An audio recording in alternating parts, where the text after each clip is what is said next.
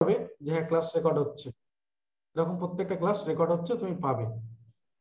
ঠিক আছে? যখন আমরা ক্লাসগুলো করি, ধরো ইন কেস ক্লাস শুরু হয়ে গেল, তোমার মনে হচ্ছে না ক্লাস তো রেকর্ড হয়নি, তুমি আবার মনে করে দিলে, দেখবে সাথে সাথে ক্লাস রেকর্ড অন হয়ে গেছে। এরকম প্রত্যেকটা ক্লাস রেকর্ড থাকে, আর সবগুলো ক্লাস লাইভ ক্লাস হবে। এমন না যে কোনো কিছু রেকর্ডিং ক্লাস চালানো হবে, বা আমাদের যা কিছু ক্লাস হয়, সবকিছু লাইভ ক্লাস হয়। এই লাইভ ক্লাসের রেকর্ডিং ক্লাস তোমাদের কাছে স্টকে থাকবে, তার পিডিএফ মেটেরিয়াল সবকিছু থাকবে। তো যেটা বলছিলাম, তাহলে এই আটটা পার্ট মেইনলি আমাদের এখানে রয়েছে। আটটা পার্টের মধ্যে আমরা যদি দেখি ফার্স্ট যে তোমার ইংলিশ কম্প্রিহেনশন এটা আমাদের সবসময় জন্য এই এক থেকে পঁচিশ নম্বর কোশ্চেনটাতেই থাকে, সব সেটে এরপর থেকে বাকি যে আমাদের এই ছাব্বিশ নম্বর কোশ্চেন থেকে শুরু হচ্ছে আপ টু দুশো নম্বর কোশ্চেন পর্যন্ত, এইগুলো সব কিন্তু বিভিন্ন সেটে বিভিন্ন রকমের থাকে। ঠিক আছে? তো এখানে আমাদের বাকি যে সেটগুলো রয়েছে, বাকি যে পার্টগুলো রয়েছে, প্রত্যেকটা পার্ট মানে আমাদের এখানে আটটা সেগমেন্ট দেখতে পাচ্ছি। তো আট গুণ পঁচিশ, আট গুণ পঁচিশ মানে দুশোটা কোশ্চেন আছে। এই দুশোটা কোশ্চেন বলে তার মধ্যে আমাদের প্রিলিতে দুটো পার্ট রয়েছে হিস্ট্রি এই যে একটা রয়েছে হিস্ট্রি অফ ইন্ডিয়া আর একটা রয়েছে ইন্ডিয়ান ন্যাশনাল মুভমেন্ট এই দুটো পার্ট কিন্তু আমাদের হিস্ট্রির মধ্যে রয়েছে। এই দুটো কিন্তু আমাদের তোমার হিস্ট্রি মানে আমাদের তাহলে বলতে গেলে হিস্ট্রিতে থেকে আসছে আমাদের পঞ্চাশ নম্বরে। এবং এইটা যেটা রয়েছে ইন্ডিয়ান ন্যাশনাল মুভমেন্ট আমরা এটাকে দেখব আবারও মেনের মধ্যে যখন মেন সিলেবাসটা দেখব, তখন সেখানেও দেখব এই পার্টটা আবার হাইলাইট করা আছে, যে ইন্ডিয়ান ন্যাশনাল মুভমেন্ট জিওগ্রাফির মধ্যে যদি দেখি, তাহলে অবশ্যই ওয়েস্ট বেঙ্গলকে হাইলাইট করা আছে। মানে আমাদের যখন সিভিল সার্ভিস এটা ওয়েস্ট বেঙ্গলের জন্য পড়ছি, আমরা যখন ডব্লিউবিসিএস দিচ্ছি, তাহলে অবশ্যই আমাদের ওয়েস্ট বেঙ্গল জিওগ্রাফিটাকে একটু বেশি ফোকাস করতে হবে। মানে এখান থেকে একটা সার্টেন নাম্বার অফ কোশ্চেন প্রতি বছর থাকে। ঠিক আছে? জেনারেল সায়েন্স বলে যে পার্টটা রয়েছে, অর্থাৎ এর মধ্যে আমাদের তিনটে সাবজেক্ট রয়েছে মেইনলি যদি বলি ফিজিক্স কেমিস্ট্রি আর বায়োসায়েন্স এর সাথে সাথে তুমি এর মধ্যে পেতে পারো এনভায়রনমেন্টাল সায়েন্স কম্পিউটার মানে কম্পিউটার রিলেটেড যে সমস্ত question science and technology related question তাহলে সব এইখানটায় আসছে। তার মানে আমরা যদি জেনারেল সায়েন্স বলে যেটা বলছি, তাহলে সেখানে কিন্তু আমরা মেইনলি তিনটে সাবজেক্টের কথা বলছি। কি কি? ফিজিক্স কেমিস্ট্রি আর বায়োসায়েন্স ঠিক আছে? এছাড়া বললাম কি আমাদের এনভায়রনমেন্টাল সায়েন্স আছে, সেখান থেকে আমাদের কম্পিউটার আছে কম্পিউটার থেকে পাওয়া যায়, একটা কোশ্চেন অন্তত মিনিমাম থাকে। আবার সায়েন্স অ্যান্ড টেকনোলজি বলে যে বাকি বিরাট পার্ট বা এরিয়া রয়েছে সেগুলো। তাহলে দু নম্বর পার্টের মধ্যে এটা গেল। তিন নম্বর যেটা রয়েছে, আমাদের current events of national and international importance মানে যেটার মধ্যে আমরা যদি দেখি, অবশ্যই সিএ এক কথায় বলতে গেলে সিএ ডাব্লিউবিসিএস মেইনলি তুমি যেদিন থেকে পরীক্ষা দিচ্ছ মানে ধরো আমরা ধরে নিই যে আমাদের দু হাজার তেইশের তোমার প্রিলি পরীক্ষা। হিসাব মতো আমাদের জানুয়ারি বা ফেব্রুয়ারিতে হয়। গত বছর বা তার আগের যেগুলো কিন্তু এখনও পর্যন্ত অ্যাড বেরোলো না। তো আমি ধরে নিই খুব দেরি করেও মার্চ মাসে পরীক্ষা হবে। মার্চ দু হাজার তেইশে পরীক্ষা হবে আমি ধরে নিই, এবারের দু হাজার তেইশ সালের পরীক্ষাটা, প্রিলিটা। তাহলেও, তাহলে আমি বলব যে, তুমি অন্তত এর আগের প্রায় আঠেরো মাস আমরা বলি মোটামুটি। তাহলে আমরা রিক্স জোন থেকে বেরোনোর জন্য আমরা মোটামুটি দু বছর, তার মানে দু হাজার পুরোপুরি একুশ, দু হাজার বাইশ, দু হাজার একুশ, দু হাজার বাইশ। এই দুটো ইয়ার পুরোপুরি তোমাকে সিএ কমপ্লিট রাখতে হবে। প্লাস দু হাজার তেইশের মার্চে পরীক্ষা হচ্ছে, তার মানে জুন দু হাজার তেইশ পর্যন্ত তোমাকে, জুন দু হাজার তেইশ পর্যন্ত তোমাকে কিন্তু এই সিএ প্রিপারেশন রাখতে হবে, অর্থাৎ আড়াই বছর পর্যন্ত। তোমার সিএ প্রিপারেশন রাখতে হবে। আমি খুব বেশি করে বলছি যাতে করে আমরা রিক্স জোনের মধ্যে না থাকি। তবে মোটামুটি ডাব্লিউবিসিএস দেড় বছর পর্যন্ত পুরনো কোশ্চেন করেই। মিনিমাম দেড় বছর পর্যন্ত পুরনো কোশ্চেন করে এর মধ্যে কোনো ভুল নেই। মানে তুমি যদি দেড় বছরের কমে পড়ে যাও, তাহলে তুমি রিক্সের মধ্যে পড়ে যাবে। তুমি এমন কিছু কোশ্চেন পাবে যেগুলো তোমার পড়ার বাইরে চলে আসছে। তাই অন্তত বলছি মিনিমাম দু বছর। মানে তোমাকে আড়াই বছর পুরোপুরি প্রিপারেশন নিয়ে তারপর তোমাকে এক্সাম হলে যেতে হবে। এর সাথে সাথে অবশ্যই এই পার্টের মধ্যে একটা পার্ট যেটা রয়েছে স্ট্যাটিক জিকে জুড়ে রয়েছে স্ট্যাটিক জিকে মানে আমাদের স্ট্যাটিক জিকে বলতে গেলে যদি আমরা বলি যে আমাদের ইন্ডিয়ার বিভিন্ন রকমের যে ডান্স যেগুলো হয়, ধরো বিভিন্ন স্টেটের রেসপেক্টে তাদের বিভিন্ন রকমের, যেমন আমাদের ওয়েস্ট বেঙ্গলের যদি আমরা বলি, আমাদের ওয়েস্ট বেঙ্গলের রাজ্য পাখি, পশু ফুল এগুলো আলাদা আলাদা আছে, তোমাকে জানতে হবে। একই রকমের বিভিন্ন স্টেটের আমাদের যদি ইন্ডিয়ান বিভিন্ন স্টেটের কথা বলি, তাহলে সব ক্ষেত্রে এরকম টাইপের কিছু আছে। বিভিন্ন রকমের কালচার এই যে এগুলো রয়েছে, আমাদের স্ট্র্যাটেজিকের মধ্যে এগুলো আমাদেরকে পড়ে যেতে হয়।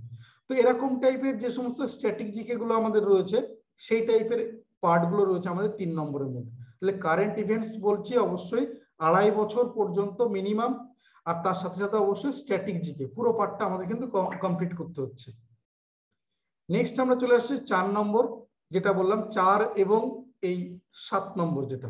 চার এবং সাত এই দুটো আমাদের মেইনলি হিস্ট্রি চার নম্বরটা বলছে হিস্ট্রি অফ ইন্ডিয়া পুরোটাই, যে আমাদের হিস্ট্রি অফ ইন্ডিয়ার ছ নম্বর, সাত নম্বরটা যেটা রয়েছে ইন্ডিয়ান ন্যাশনাল মুভমেন্ট মানে মেইনলি আমাদের কিন্তু ওই স্বাধীনতা দিবস মানে আমরা যদি বলি সিপাই বিদ্রোহ, তার পরবর্তী সময় থেকে একদম স্বাধীনতার পূর্ববর্তী পর্যন্ত। উনিশশো সাতচল্লিশ। তাহলে আমাদের পুরো হিস্ট্রিটা তোমাকে কিন্তু কভার করে তাহলে তোমাকে প্রিলি পরীক্ষা দিতে হবে। আর এটা শুধুমাত্র প্রিলির জন্য না, অবশ্যই কিন্তু এর সাথে জুড়ে রয়েছে মেইন ঠিক আছে? কারণ আমাদের প্রিলি পাস করা মানে কিন্তু ডব্লিউবিসিএস হয়ে গেল না। কারণ এই কনসেপ্ট আমি আমি নিজে রাইসে একটা বিরাট সময় কাটিয়েছি, নাম করেই বলছি, একটা বিরাট সময় কাটিয়েছি। তো সেখানকার রেসপেক্টে যখন আমরা দেখতাম, মোটামুটি আজ থেকে ধরো দশ বছর আগের কথা বলছি টেন ইয়ার্স এগো আমাদের সেই সময়কার ক্ষেত্রে কনসেপ্ট ছিল, আগে ডাব্লিউবিসিএস প্রিলি দাও। সেখানে ধরো আমরা যখন কোনো এক্সামে ভর্তি হতাম, তো সেখানে আমাদের এই টার্গেট থাকতো আমরা মোটামুটি আগে প্রিলিটা কোয়ালিফাই করব। তারপরে গিয়ে মেইনের জন্য পড়াশোনা শুরু হবে মেইনের প্রিপারেশন নেব মেইনের পরীক্ষা দেবো। কিন্তু সেই কনসেপ্ট পাল্টে গেছে। মানে আজ থেকে ধরো দশ বারো বছর আগের ক্ষেত্রে আমরা দেখতাম যে যখন আমাদের ওই বাই পোস্টে আমাদের অ্যাডমিট কার্ড আসতো, তো এমন কিছু স্টুডেন্ট থাকতো যারা তাদের টেনশন মানে টেন্ডেন্সি এরকম ছিল যে ওই অ্যাডমিট কার্ড আসা শুরু করেছে, এবার তারপরে পড়াশোনা শুরু করবে কিন্তু আজকের দিনে সেই ব্যাপারগুলো পাল্টে গেছে। যখন থেকে আমাদের ধরো মোটামুটি মোবাইল আর মোবাইল ডেটা মানে স্মার্টফোন অবশ্যই আর মোবাইল ডেটা যখন অ্যাভেলেবেল সবার হাতের কাছে যখন সমান, তখন আমাদের এই তুমি কলকাতা বলো আর কুচবিহার বলো আর ক্যানিং বলো, এর মধ্যে কোনো পার্থক্য নেই। সব ক্ষেত্রে সমান হয়ে গেছে। মানে কেউ যদি বলে আমি ব্যাপারটা জানি না বা কিছু তাহলে সে বলব অজুহাত দেখাচ্ছে। তো যখন এইরকম ব্যাপারটা সেখানে কিন্তু আমাদের আজকের দিনে দাঁড়িয়ে প্রথমে প্রিলির জন্য প্রিপারেশন নেওয়া তারপরে গিয়ে মেনের জন্য প্রিপারেশন নেওয়া বা তারপরে আমরা পার্সোনাল টেস্ট সেই রেসপেক্টে আমরা ভাবনা চিন্তা করব দেখব এটা একদম বোকামি। তাহলে বলব তুমি এখনও সেই দশ পনেরো বছরের পেছনে পড়ে রয়েছো এখান থেকে নিজেকে তাহলে আপডেট করতে হবে। তাহলে আমরা যা কিছু করব? কেউ কিছু বলছো? প্রিলির সাথে সাথে আমরা কিন্তু মেইন এই দুটোকে একসঙ্গে দেখব, দুটোকে একসঙ্গে। মানে তুমি যদি ভাবো যে না, আমি আগে প্রথমে প্রিলি পাস করিনি, তাহলে তুমি অনেকটা পিছিয়ে যাবে। কারণ আমাদের যদি বলি যে শুধুমাত্র হার্ডওয়ার্ক করে যাও, আমি আসব, এই পার্টগুলোতে অবশ্যই আসব ডিটেলসে আসব, যে কথাগুলো বলতে যাচ্ছি, যে হার্ডওয়ার্ক করে যাও, তাহলে তুমি পাস করতে পারবে না। তার মানে এই প্রত্যেকটার আগে আমরা একটা করে স্মার্ট ওয়ার্ড যদি যোগ করি না স্মার্ট হার্ডওয়ার্ক তারপরে তুমি যদি বলো যে রেগুলারিটি যে আমাদের অবশ্যই এখানকার একটা খুব প্রয়োজনীয় জিনিস, খুব ইম্পর্টেন্ট ওয়ার্ড মানে রেগুলারিটি বলতে তুমি প্রতিদিনের পড়াশোনা, প্রতিদিন তুমি সেটাকে প্র্যাকটিস করছ, প্রতিদিন। এই প্রতিদিন বলতে কিন্তু এভরি ডে বলতে চাইছি। এটা যদি তুমি ভাবো যে একদিন মাঝে ভাত চলে গেল, কালকে বৌদির কুকুরের জন্মদিন, ঠিক আছে, আজ আর পড়ার দরকার নেই, কালকে আবার পড়ে দেবো, এরকমটা হবে না। তোমাকে প্রতিদিন এই ধৈর্য তোমাকে কিন্তু রাখতে হবে। এই পেশেন্স তোমাকে রাখতে হবে, এই রেগুলারিটি তোমাকে মেনটেন করতে হবে। তবে কিন্তু এই জায়গাটা সম্ভব, কারণ এটা যদি তুমি হাই সেকেন্ডারি সিলেবাস ডাব্লিউবি ইয়ে তোমার গ্রাজুয়েশনের সিলেবাস বা তার পড়াশোনার মতো ভাবো, তাহলে ভুল করবে। ঠিক আছে? আর একটা আমাদের একটা খুব বড় সমস্যা, যেটা আমরা এই নেগেটিভ সান্ত্বনা মানে এটাকে অবশ্যই সান্ত্বনা বলব না, এটা নেগেটিভ অবশ্যই। কি না, আমরা যারা খুব সদ্য সদ্য গ্রাজুয়েশন কমপ্লিট করে এসেছি তাদের কাছে একটা বিরাট যুক্তি থাকে। কি যুক্তি বলতো? তাদের একটা যুক্তি থাকে যে, আমি তো সবে গ্রাজুয়েশন কমপ্লিট করে এসেছি। এই বছরে আমি ফর্ম ফিল করছি বা পড়াশোনা করছি, শুধুমাত্র এক্সামটা বোঝার জন্য। এক্সামটা দেওয়ার জন্য না। মানে এক্সামের কেমন প্যাটার্ন হয়, ধরন কেমন কোশ্চেন পেপারগুলো কেমন হয় এটা এক্সপিরিয়েন্স গ্যাদার করার জন্য এসেছি। এই এই ধারণাটা ভীষণভাবে ভুল। তুমি সবসময়ের জন্য যাবে, এটা মনে করে যাবে। মানে ধরো তুমি এই কথা যদি না মনে করো, তুমি যদি না ভাবো, তাহলে কিন্তু কেউ জানে না। আমি যদি এখান থেকে যে কেউ রয়েছে, ধরো এখন প্রায় আমরা পঞ্চাশ জন মতো রয়েছি, আমি এখান থেকে রাম শ্যাম যদু যাকেই তুলি না কেন, আমি কিন্তু তার সম্পর্কে জানি না। তার গ্রাজুয়েশন কবে হয়েছে, কবে সে পাশ করেছে, আদৌ গ্রাজুয়েশন কমপ্লিট হয়েছে কিনা এখনও কিচ্ছু জানি না। তো তুমি যদি এই নিজেকে যদি এই দুর্বল, এটা যদি এক্সপ্রেস না করো, তাহলে কেউ তোমার সম্পর্কে জানবে না। কিন্তু যদি তুমি প্রথমেই বলে দাও, আমি দুর্বল, আমি এই জায়গাটা জানি না, আমার এটা উইক পয়েন্ট আমার এই জায়গাগুলোতে আমার এখনও প্রিপারেশনের দরকার আছে তাহলে তোমাকে কিন্তু ওই ওই দুর্বল জায়গাগুলো, আঘাতপ্রাপ্ত জায়গাগুলো খোঁচানো খুব সোজা। তাই তুমি এটাকে কখনো বলবে না, কারণ সেলফ মোটিভেশন আর এই আত্মবিশ্বাস, যেটাকে আমরা বলছি কনফিডেন্স এটা ভীষণভাবে জরুরি। এই যে আমি বললাম না আগে, এই একদম শুরুতে বলেছিলাম এই কথাগুলো, যে আমরা অবশ্যই ডাব্লিউবিসিএস সিলেবাস দেখব, তার আগে দেখে নেব যে আমাদের এই এন্টায়ার লাইফের সিলেবাসটা যদি ওই সিলেবাস ঠিক না থাকে তাহলে তুমি ডাব্লিউ ডাব্লিউবিসিএস সিলেবাস কমপ্লিট করলেও দেখবে কিছু হচ্ছে না। আর end of the day result আসবে জিরো কারণ এটা দিয়ে তুমি কোনো কিছু প্রমাণ করতে পারবে না। আমি মানে তোমার মা বাবা ধরো এই কথা বলছে, আমার ছেলে দু বছর, তিন বছর ধরে ডাব্লিউ ডাব্লিউবিসিএস এর প্রিপারেশন নিয়েছে বা খুব বড় ইনস্টিটিউটে প্রিপারেশন নিয়েছে রেজাল্ট কি? জিরো আমার মেয়ে ডাব্লিউ ডাব্লিউবিসিএস প্রিপারেশন নিচ্ছে। তো বিয়ের সময় কোনো কাজে লাগবে? যে তাতে কি পাত্রপক্ষ খুব বিশাল কিছু বা অন্য চোখে দেখা শুরু করবে? না। তার মানে বুঝতে পারছ যে এই যে তুমি যদি এই এই চিন্তা ভাবনা না পাল্টাও, তাতে করে যদি তুমি দু বছর, তিন বছরের পিছনে খাটাখাটনি করো, তাহলে আলটিমেট রেজাল্ট জিরো তোমার কাছে একটা বিরাট সময় চলে গেল। আর আমরা যদি ধরে নিই যে আমরা ষাট বছর সুস্থভাবে বেঁচে থাকি, তার মানে যদি তোমার তিন বছরের ডাব্লিউবিসিএস প্রিপারেশনে চলে যায় তুমি বুঝতে পারছ লাইফের কতটা পার্ট তুমি এখানে কাটিয়ে দিলে? তার রেজাল্ট কি? বিগ জিরো তার মানে ব্যাপারটা এরকম যে তুমি যদি এই ব্যাপারগুলোতে আমি আসব যদিও, পরে নিয়ে আরও ডিটেলসে কথা বলব। তো তোমার যদি এই ব্যাপারে প্যাশন ডেডিকেশন ঠিক না থাকে, তুমি যদি ভেবে থাকো যে আমার পাশের বাড়ির সিনিয়র দাদা ডাব্লিউবিসিএস চাকরি পেয়েছে, তাই আমার মায়ের ইচ্ছা আমিও ডাব্লিউবিসিএস পড়াশোনা করি, আমিও প্রস্তুতি, আমিও পরীক্ষা দিই, আমিও চাকরি পাই। তাহলে বলব প্রথম ধারণাটা বা প্রথম যে স্টেপটা যেটা ফেলে না, এটা সব প্রথমটাই ভুল। প্রথমে ভুল হয়ে গেল। মানে তোমার মধ্যে যদি প্যাশন না থাকে, আমাদের যদি প্যাশনের সাথে সাথে আমরা যদি আমাদের প্রফেশনটা না মেলাতে পারি, তাহলে প্রথমে কিন্তু সমস্যাটা তৈরি হবে। অনেক ক্ষেত্রে হয়ে যায় যে হ্যাঁ তো আমরা আমাদের প্রফেশনের সাথে আমাদের প্যাশনটা মিল নেই অর্থাৎ শুরু করে দিলাম। হয়তো প্রথম কিছুদিন খুব ভালো চলল, তারপরে হোঁচট খাওয়া শুরু হবে। আমি এই নিয়ে আরও ডিটেলসে আসব যদিও। তো যেখানটা ছিলাম যে হিস্ট্রি আমাদের তাহলে দুটো পার্ট রয়েছে। একটা ইন্ডিয়ান হিস্ট্রি টোটাল আমরা ইন্ডিয়ান হিস্ট্রি বলতে যা বুঝি, এর সিলেবাস সাধারণত পাল্টানের সব ক্ষেত্রে প্রায় একই রকম। যে কোনো এক্সামের ক্ষেত্রেও বলতে গেলে একই রকম। এই জায়গাটা আমাদের ডেপথ রয়েছে অনেক বেশি, আমাদের মানে স্পেসিফিক জায়গাটা বা বলতে পারে এখানে আমাদের অনেক বেশি ফোকাস করতে হয়। কারণ মেইনলি এই পার্টটা দিকেও কিন্তু মানে পার্টিকুলার এই জায়গা থেকে কিন্তু কোশ্চেন আসে প্রচুর, যে ইন্ডিয়ান ন্যাশনাল মুভমেন্ট তাহলে এই হিস্ট্রি বলতে আমরা দুটো পার্ট বুঝতে পারলাম এবং এখানে আমাদের তার মানে পঞ্চাশ নম্বর কোশ্চেন আসছে। পঁচিশ পঁচিশ, পঞ্চাশটা কোশ্চেন বা ফিফটি মার্কসের কোশ্চেন আমাদের এখান থেকে কিন্তু পাচ্ছি। এরপরে চলে আসলাম জিওগ্রাফি অবশ্যই ইন্ডিয়ান জিওগ্রাফি পুরো আমাদের ভারতের ভূগোল যেটা রয়েছে, একদম ছোটবেলায় সেই ক্লাস সেভেন এইট থেকে শুরু করেছে আমাদের আমাদের শুরুটা হয়েছে যে ভূগোল যেটা আমরা পড়ে পড়ে পড়ছি ইন্ডিয়ান ইন্ডিয়ান জিওগ্রাফি অবশ্যই তার সাথে সাথে ওয়েস্ট বেঙ্গল জিওগ্রাফি আমরা নাইন টেনে পড়েছি। যে ওয়েস্ট বেঙ্গল জিওগ্রাফি আলাদা একটা পার্ট ছিল সবসময় জন্য, আজও সেই একই রকম। এখান এই জায়গাটা কিন্তু একটা স্পেশাল তার গুরুত্ব দেওয়া হচ্ছে ইন্ডিয়ান জিওগ্রাফির উপর। তার মানে আমরা এটাকে কিন্তু কন্টিনিউ দেখে যাব। এটাকে কিন্তু আমরা কন্টিনিউ দেখে যাব। গ্রুপে অনেকে জানাচ্ছে কি লিঙ্কে প্রবলেম হচ্ছে? গুগল মিটে ক্লাস করেন না প্লিজ গুগল মিটে ব্যাপারটা তো আমি আজ গুগল মিটে করলে সে একই রকম হবে, কালকে কিছু বলবে জুমে ক্লাস করেন না, ওটাতে তাহলে খুব সুবিধা হয়।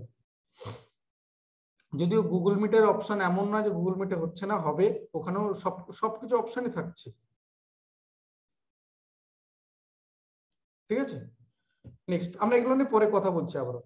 তো যেখানটা আমরা ছিলাম জিওগ্রাফি ইন্ডিয়ান জিওগ্রাফি অবশ্যই, তার সাথে সাথে অবশ্যই ওয়েস্ট বেঙ্গল জিওগ্রাফি এটাকে আমরা সব থেকে বেশি ফোকাস করব। নেক্সট আমাদের চলে আসছে এই জায়গাটা ইন্ডিয়ান পলিটি অ্যান্ড ইকোনমিক্স মানে আমরা যদি ছ নম্বর পার্টটা বলি, তাহলে আমাদের সব থেকে বিরক্তিকর জায়গা বলতে পারি। মনে হতে পারে কেন এরকম কথা বলছেন। কারণ আমরা যদি বলি যে আমাদের এই ধরো এখন আটচল্লিশ বা পঞ্চাশ জন স্টুডেন্ট আমরা রয়েছে একসঙ্গে, তো ইন্ডিয়ান পলিটি বা ইকোনমিক্স তাহলে পলিটিক্যাল সায়েন্সের ব্যাকগ্রাউন্ড বা ইকোনমিক্স ব্যাকগ্রাউন্ড এই নাম্বার অফ স্টুডেন্ট খুব কম। তাই না? বিশেষ করে তো ইকোনমিক্স খুঁজেই পাওয়া যাবে না, বা দুই একজন হয়তো রয়েছে। ইন্ডিয়ান পলিটি বা ইকোনমিক্স বলতে গেলে মানে ধরো আমার ব্যাকগ্রাউন্ড এরকম নয় তাহলে যদি বলি, তাহলে আমার ক্ষেত্রে এই দুটো সাবজেক্ট খুব বোরিং মনে হয়। মানে কেমন একটা ব্যাপার, কোনোদিন পড়িনি, সেভাবে জানি না, এই ডিটেলস খুব একটা আমাদের জানা নেই। তো এই জায়গাটার ক্ষেত্রে সেখান থেকে আমি কিন্তু বলছি, এটার গুরুত্ব তাহলে বেড়ে যাচ্ছে এই জায়গাটায়। যে কেন? না, আমরা সাধারণত এই জায়গাটা পড়ি না, জানি না। ঠিক আছে? আমাদের খুব কম এক্সপিরিয়েন্স হচ্ছে আমাদের এন্টায়ার এই গ্রাজুয়েশন পর্যন্ত যে ধরো আমরা বাংলায় গ্রাজুয়েশন কমপ্লিট করে এসেছি বা ইংলিশে বা কেউ হিস্ট্রিতে জিওগ্রাফিতে তো তাদের ক্ষেত্রে আমাদের ইন্ডিয়ান পলিটি বা ইকোনমিক্স এর সম্পর্কে খুব ডেপথে জ্ঞান নেই। অন্তত যে জ্ঞানটা নিয়ে আমরা এই ডাব্লিউবিসিএস এর মতো পরীক্ষায় বসতে পারব, সেরকম জ্ঞানটা আমাদের কিন্তু নেই। তাই না? তাহলে এই জায়গাটার গুরুত্বটা এইখানে বেড়ে যাচ্ছে। কেন?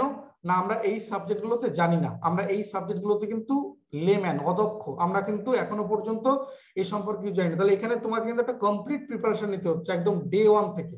ডে ওয়ান থেকে কমপ্লিট প্রিপারেশন নিতে হচ্ছে। নতুন করে তোমাকে ইন্ডিয়ান পলিটি জানতে হচ্ছে ইন্ডিয়ান ইকোনমি জানতে হচ্ছে।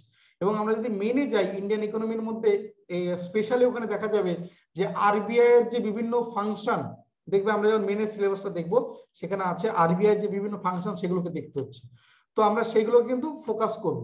তাহলে এই জায়গাটা পেলাম একটা এক্সট্রা নতুন জায়গা। এরপর তো বললাম হিস্ট্রি যেটা ইন্ডিয়ান ন্যাশনাল মুভমেন্ট বাকি রয়েছে general mental ability mental ability বলতে আমরা যদি এখানে বলি তাহলে অবশ্যই আমরা এখানে বলব প্রথমে আসবে রিজনিং রিজনিং তারপরে আসবে অবশ্যই ম্যাথস আমি যদি এন্টায়ার সিলেবাসটার কথা বলি যে আটটা টপিকের কথা আমরা বললাম, তো আটটা টপিক বলতে কিন্তু আটটা সাবজেক্ট নয়। কারণ দেখো, আমরা যদি বলি এই যে জেনারেল সায়েন্স এর মধ্যে আমরা কি কি বলেছিলাম? Physics chemistry math physics chemistry bio science এই তিনটে পার্ট বলেছিলাম এর মধ্যে। কারেন্ট ইভেন্টস এর মধ্যে অবশ্যই কারেন্ট অ্যাফেয়ার্স স্ট্যাটিক বলেছি। আবার ইন্ডিয়ান পলিটি ইকোনমিক্স মানে দুটো আলাদা আলাদা সাবজেক্ট কিন্তু, সেটা কিন্তু পঁচিশটা কোশ্চেন হচ্ছে। আমরা যদি মেনে এই জায়গাটা একটা বিরাট গুরুত্ব আছে যদিও।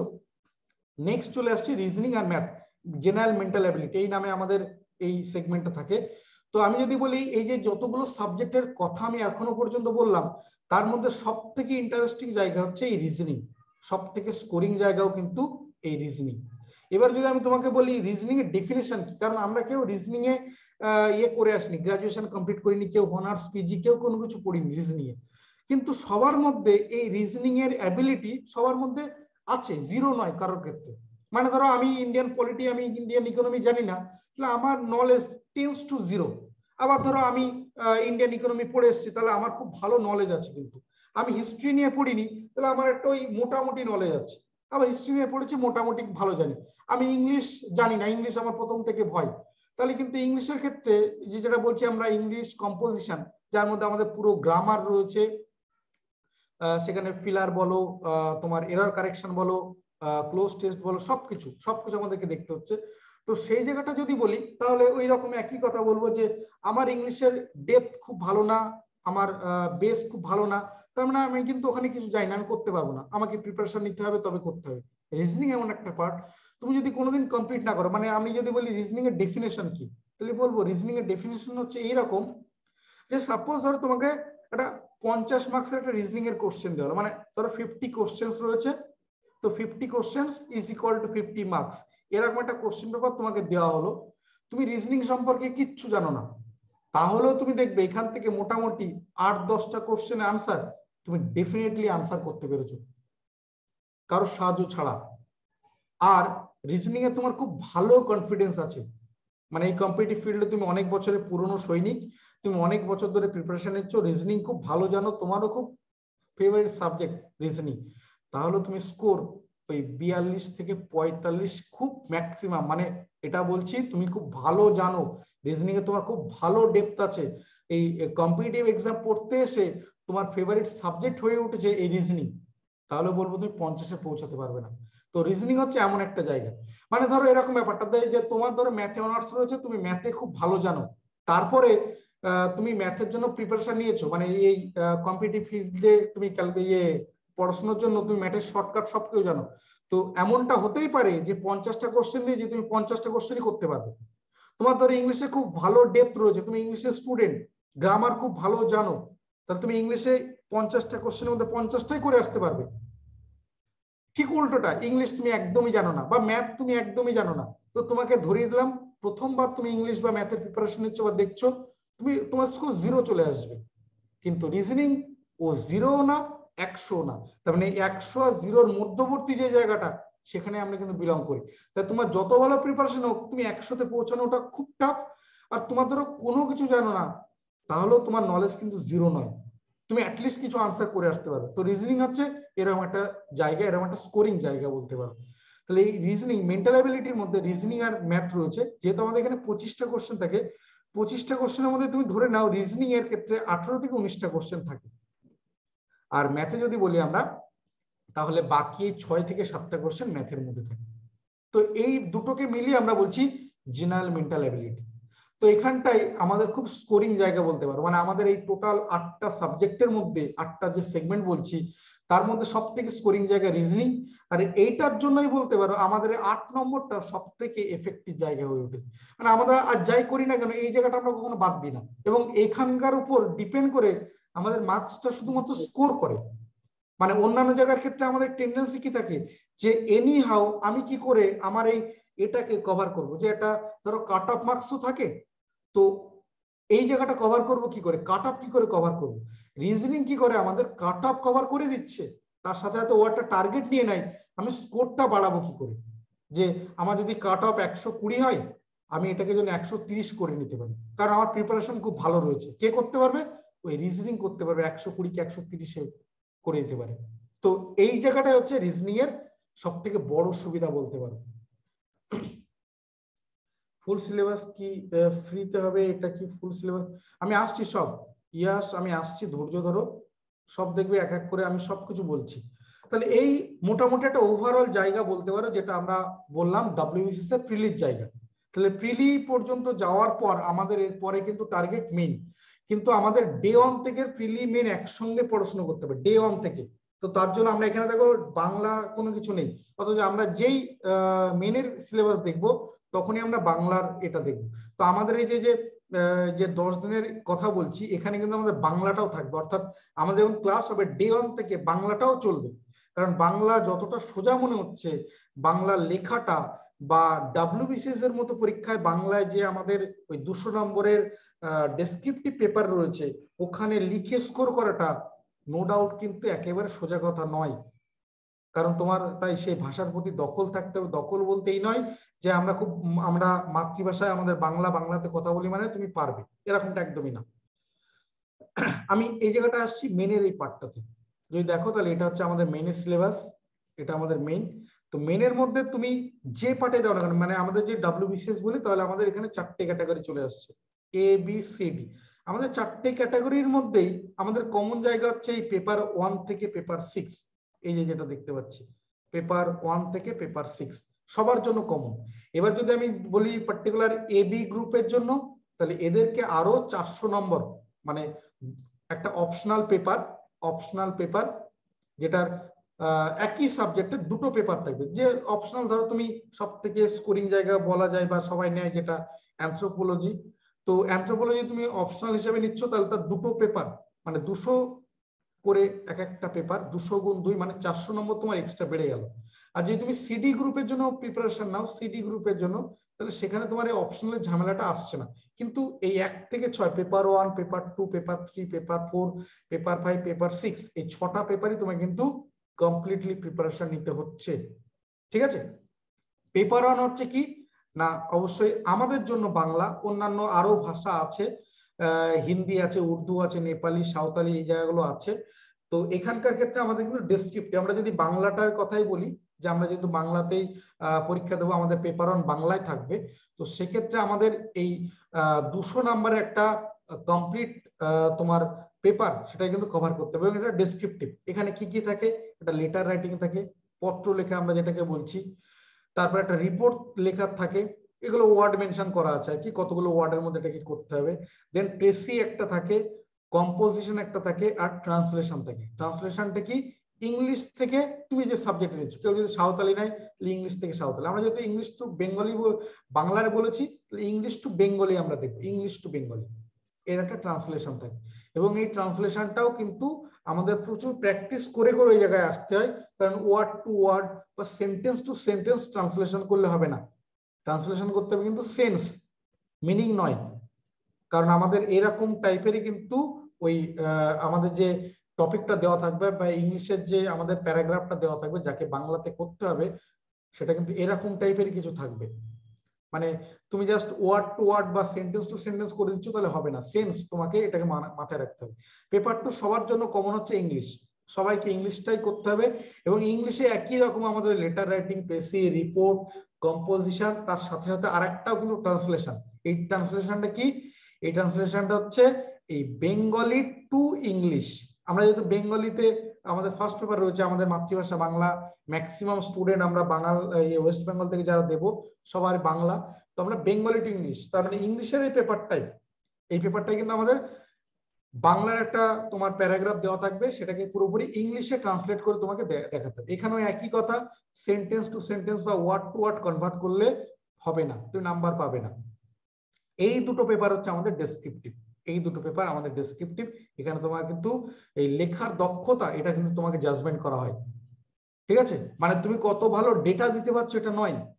যে কোন একটা রিপোর্ট দিল, ধরো একদম কারেন্ট ইভেন্টের উপর কোন একটা রিপোর্ট দিল, সেখানে তুমি কত ভালো ডেটা দিতে পারছ, সেটা তো আছে, সেটার রেসপেক্টে তার থেকেও বড় কথা তোমার ওই এটার প্রতি দখল, ভাষাটার প্রতি কতটা তোমার দখল রয়েছে, তুমি কত সাজিয়ে গুছিয়ে লিখতে পারো। আর যেহেতু একটা ওয়ার্ড লিমিট আছে উইদিন টু হান্ড্রেড ওয়ার্ড আমি পার্টিকুলার রিপোর্টের কথা বলছি ধরো সরি যে দুশোটা ওয়ার্ডের মধ্যে তোমাকে লিখতে হচ্ছে। তো এখানে তুমি কত বেশি ডেটা দিচ্ছ, তার থেকেও বড় কথা, তুমি কত সুন্দর গুছিয়ে লিখছো।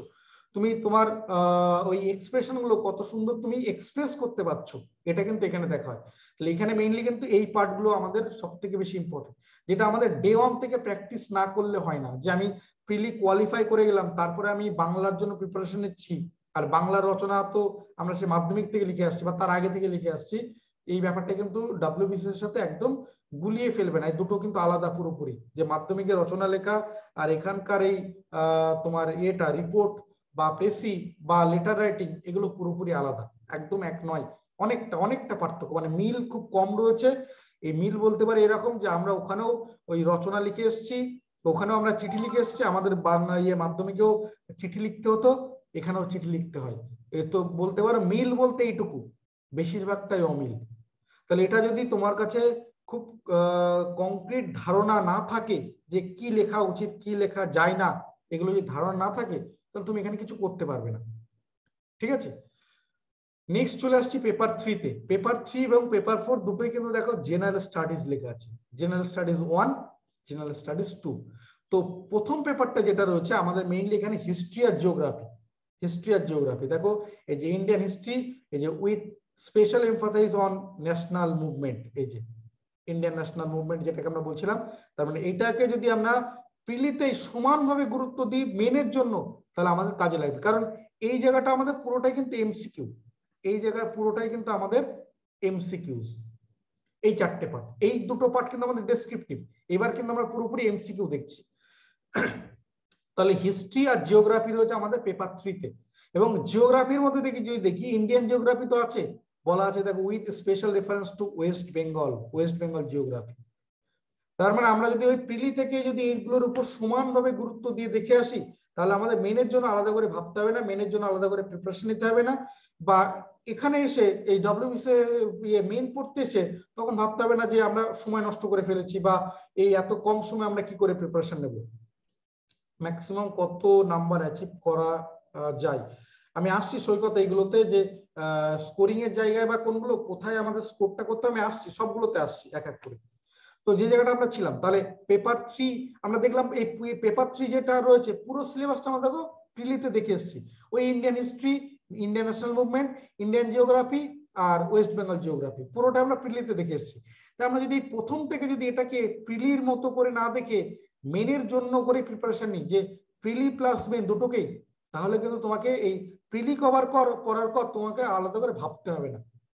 আর চার নম্বর পেপারটা যেটা রয়েছে, সেটা রয়েছে এই যে দেখো, এটাও জেনারেল স্টাডিজ কি কি রয়েছে? এই যে সায়েন্স অ্যান্ড টেকনোলজি মানে আমরা ওখানে যেটা বলছিলাম যে প্রিলির মধ্যে যেটা বলছিলাম জেনারেল সায়েন্স তো আমরা বললাম জেনারেল সায়েন্সের মধ্যে কি কি রয়েছে? প্রথমে বললাম ফিজিক্স কেমিস্ট্রি বায়ো সায়েন্স আর তারপরে বললাম যে এনভায়রনমেন্টাল সায়েন্স একদম শেষে বললাম সায়েন্স অ্যান্ড টেকনোলজি তো এই জায়গাটা দেখো সেইটা লেখা রয়েছে যে science and scientific and technology advancement environment general knowledge and current affairs তাহলে আমাদের এই জায়গাটাই এই সায়েন্স অ্যান্ড টেকনোলজি এই জায়গাটা খুব ইম্পর্টেন্ট তার মানে আমাদের কিন্তু এখানে আলাদা করে, দেখো জেনারেল সায়েন্স বলে কোথাও লেখা নেই। তার মানে কি সেখান থেকে কোশ্চেন থাকবে না? হ্যাঁ সব জায়গায় থাকবে।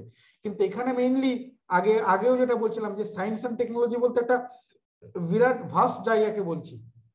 মানে সেখানে আমি ওই আলাদা করে মেনশন করছি না যে ফিজিক্স কেমিস্ট্রি বা বায়ো সায়েন্স এগুলোকে আলাদা করে মেনশন করছি না। তো সেই পার্টটা কিন্তু আমাদের এই পেপার ফোর এর মধ্যে রয়েছে। আর এর সাথে সাথে আমাদের কি? ওই ওখানে আমরা যেটা পড়ে এসেছি কারেন্ট অ্যাফেয়ার্স স্ট্যাটিক জিকে যেহেতু জেনারেল নলেজ বলা আছে, এই জেনারেল নলেজটাই কিন্তু আমাদের ওই স্ট্যাটিক জিকে। তো আমাদের স্ট্যাটিক জিকেটা পুরোটা দেখতে হবে এমন ভাবে প্রিপারেশন নিতে হবে যাতে করে আমাদের মেইনটা প্রথম দিন থেকে কভার হয়ে যায়। তো আমাদের স্ট্যাটিক জিকেটা কিন্তু এর সাথে সাথে রয়ে গেছে। তাহলে সায়েন্স অ্যান্ড টেকনোলজি এই পার্টটা তার সাথে সাথে কিন্তু অবশ্যই স্ট্যাটিক জিকে। তাহলে কারেন্ট অ্যাফেয়ার্স আমরা দেখছি এবং এই মেনের যখন জন্য যখন আমরা দিচ্ছি মানে ধরে নিচ্ছি আমি প্রিলির পর আরও ছ মাস হয়ে গেছে, তাহলে ওদিকে তুমি কিন্তু আড়াই বছর পড়েছিলে, তাহলে আরও ছ মাস, তিন বছর, তাহলে তোমাকে কিন্তু তিন বছর প্রিপারেশন নিয়ে তবে কিন্তু মেনে বসতে হচ্ছে। কারেন্ট অ্যাফেয়ার্স এর কথা বলছি কারেন্ট অ্যাফেয়ার্স তোমাকে কিন্তু তিন বছরের প্রিপারেশন নিয়ে তবে কিন্তু এক্সাম হলে ঢুকতে হচ্ছে। পেপার ফোর এর জন্য বলছি পেপার ফোর ঠিক আছে? এগুলো কিন্তু সব তিন ঘণ্টা করে পেপার দুশো মার্কসের পেপার পেপার এক একটা, সবগুলো ডিউরেশন আছে তিন ঘণ্টা করে প্রত্যেকটা পেপার দুশো marks two hundred marks each প্রত্যেকটা। তাহলে এই দুটো পেপার গেল আমাদের জেনারেল স্টাডিজ এর উপর। তো জেনারেল স্টাডিজে একটা গেলাম হিস্ট্রি জিওগ্রাফি আর আরেকটা গেলাম হচ্ছে আমাদের এই পুরো সায়েন্স অ্যান্ড টেকনোলজি এই পার্টটা তাহলে এর মধ্যে এবার আমরা বলব সবকিছু রয়েছে। বিশেষ করে আমাদের এই এনভায়রনমেন্টটা খুব আসে। মানে এনভায়রনমেন্ট যেটা আমরা ওই ওখানে বলিনি বা জেনারেল সায়েন্সের মধ্যে কোথাও আলাদা করে মেনশন করা নেই, এই এনভায়রনমেন্টটা কিন্তু আমাদের প্রথম দিন থেকে পড়ে আসতে হবে। এর সাথে সাথে অবশ্যই এই সায়েন্স অ্যান্ড টেকনোলজি বলছে মানে এর মধ্যে কিন্তু আমাদের ওই কম্পিউটারটাও রয়েছে কম্পিউটার আমরা বলছিলাম প্রিলিতে অন্তত একটা কোশ্চেন থাকে কম্পিউটারে মেনে যদি বলি অন্তত আমাদের এই কম্পিউটারের থেকে চার থেকে ছটা কোশ্চেন আমরা পাই। তাহলে কম্পিউটারটা আমাদের প্রথম দিন থেকে দেখতে হবে। এই কম্পিউটারে যদি বলো তাহলে সিলেবাসটা মোটামুটি সোজা বা ছোট, বেশ ইন্টারেস্টিং মানে যাদের ক্ষেত্রে ধরো কম্পিউটারের ইয়েতে ভয় আছে বা কিছু, এমন কিচ্ছু না। মানে কম্পিউটারের জায়গাটা আমরা যদি খুব এফেক্টিভলি ছ সাতটা ক্লাস করা যায়, তাহলে কম্পিউটার এই পুরো ব্যাপারটাকে গ্রেপের মধ্যে আনা যায়। এবং এখান থেকে চারটে, ছটা কোশ্চেন যেটা বলছি মেনের জন্য বা প্রিলিতে বললাম মিনিমাম একটা কোশ্চেন এটাকে খুব সহজে ট্যাকেল করা যায়। এর জন্য আলাদা করে আমাদের ভাবতে হয় না। এনভায়রনমেন্ট এই জায়গাটা কিন্তু খুব ইম্পর্টেন্ট কারণ এনভায়রনমেন্ট আমাদের প্রিলিতেও থাকবে মেনেও থাকবে। এবং মেনের এনভায়রনমেন্টে একটা বিরাট অংশ জুড়ে রয়েছে। এখান থেকে একটা মানে হিউজ নাম্বার অফ কোশ্চেন্স তুমি কিন্তু পাবে। নেক্সট চলে আসছি পেপার ফাইভে পেপার ফাইভ যেটা রয়েছে, ওই যে বলছিলাম, আমাদের সব থেকে ড্রব্যাক যে জায়গাটা বলছিলাম, ওই ইন্ডিয়ান পলিটি ইন্ডিয়ান ইকোনমি দেখো, এই জায়গাটা রয়েছে, ওই যে কনস্টিটিউশন বা পলিটি যেটা বলছি পলিটিক্যাল সায়েন্স ইন্ডিয়ান ইকোনমি এবং ইন্ডিয়ান ইকোনমির মধ্যে এই যে রিজার্ভ ব্যাংক অফ ইন্ডিয়ার যে ফাংশন এই জায়গাটা। এখান থেকে একটা হিউজ নাম্বার অফ কোশ্চেন আছে প্রতি বছর। মেনের কথা বলছি। প্রিলিতে যে বলছি, আসে না তা নয়। প্রিলিতেও কিন্তু ওখানে কোথাও মেনশন নেই যে রিজার্ভ ব্যাংকের ফাংশন নিয়ে। ওখানেও প্রিলিতে কোশ্চেন আসে। বা যদি বলি, খুব ডেফিনেটলি বলতে পারি যে রিসেন্ট টাইমে রিসেন্ট টাইমে লাস্ট দু বছরে যদি কোশ্চেন পেপার দেখো, যে রিজার্ভ ব্যাংকের ফাংশন নিয়ে অন্তত একটা কোশ্চেন আমাদের প্রিলিতে করেছে। একটা কোশ্চেন তাহলে আমরা যদি এই মেনে সিলেবাসটা না দেখি, তাহলে আমরা ওখানে রিজার্ভ ব্যাংকের ওই ফাংশন ওগুলো দেখব না, পড়ব না। তাহলে কিন্তু আমরা পিছিয়ে যাচ্ছি। তার মানে আমাদের যদি পেপার ফাইভ এর কথা বলি, তাহলে আমাদের এখানে রিজার্ভ ব্যাংকের ফাংশন একদম ডে অন থেকে পড়তে হচ্ছে এই ইন্ডিয়ান ইকোনমির মধ্যে। ইন্ডিয়ান ইকোনমি বললে একটা বিরাট জায়গা। আমাদের যদি বলি, কারণ আমাদের কম্পিটিভ এক্সামে আমাদের ডাব্লিউবিসিএস এর জন্য যতটুকু লাগবে, সেটা ক্ষেত্রে কি হয় না, আমরা যদি আগের যে কনসেপ্ট আমি যদি সেই একই কথা বলি, ধরো আমি যদি, আমি যে ইনস্টিটিউটে এই পুরো আমার হাতে করি ব্যাপারটা, যে রাইসের কথা যদি বলি, তাহলে এদের ক্ষেত্রে কি হতো ব্যাপারগুলো? এই যে যে টোটাল আমাদের আটটা সাবজেক্ট ধরা জিকে পার্টি, ঠিক আছে? আমি যদি ডাব্লিউবিসিএস এর প্রিলিট সিলেবাস বলি টোটাল বারোটা সাবজেক্ট আছে। ওখানে তুমি গুনে দেখো টোটাল বারোটা সাবজেক্ট আছে। বারোটার মধ্যে আটটা সাবজেক্ট মানে আমাদের এই ইয়ে ম্যাথ রিজনিং ইংলিশ এই তিনটে প্লাস আরেকটা যেটা রয়েছে আমাদের ওই বাংলা সাবজেক্টটাকে এই চারটিকে যদি বাদ দিয়ে দিই, তাহলে বাকি যে আটটা সাবজেক্ট থাকছে, এই আটটা সাবজেক্ট আমাদের কি কেমন হতো?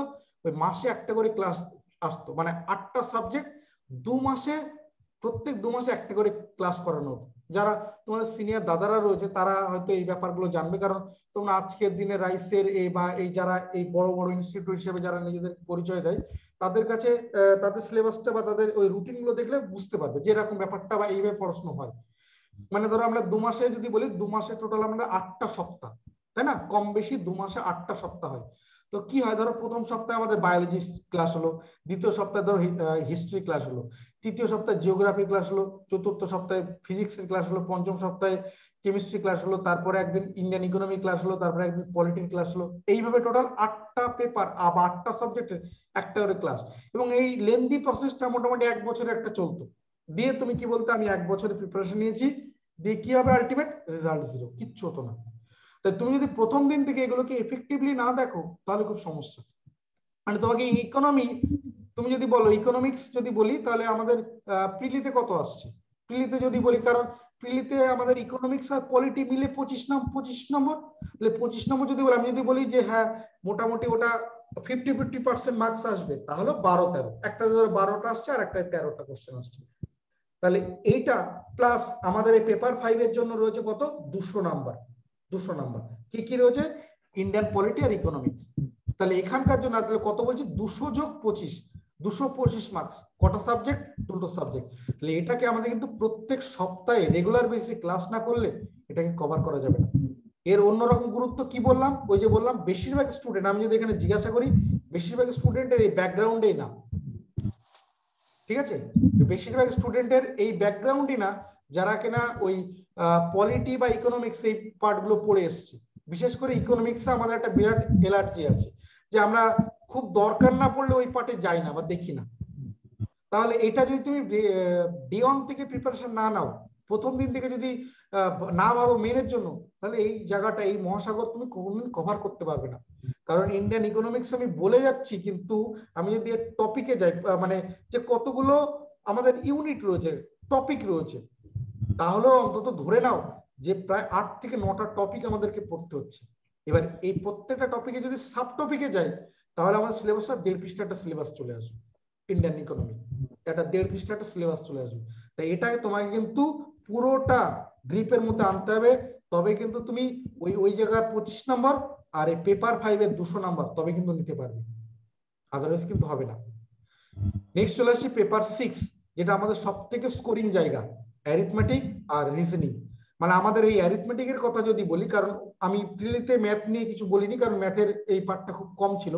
এবার যদি আমি অ্যারিথমেটিক এর কথা বলি, তাহলে এইখানটাই বলব, আমাদের প্রথমেই যদি বলি অ্যারিথমেটিক এর কথা শুনলে, অঙ্কের কথা শুনলে, আমাদের অনেকের ক্ষেত্রে গায়ের টেম্পারেচার দেখবে বেশ খানিকটা বেড়ে যায়, একবারে অনেকটা বেড়ে যায় টেম্পারেচারটা তো এই জায়গার ক্ষেত্রে তুমি যদি এটাকে ওইভাবে নেগলেক্ট করতে থাকো, তাহলে কোনোদিন পাস করা সম্ভব না। মানে কারও যদি ধারণা থাকে, আমি কোন একটা সাবজেক্টকে পুরোপুরি অফ করে ডাব্লিউবিসিএস কোয়ালিফাই করব, তাহলে এটা ওই নেক্সট টু ড্রিম বলতে পারো।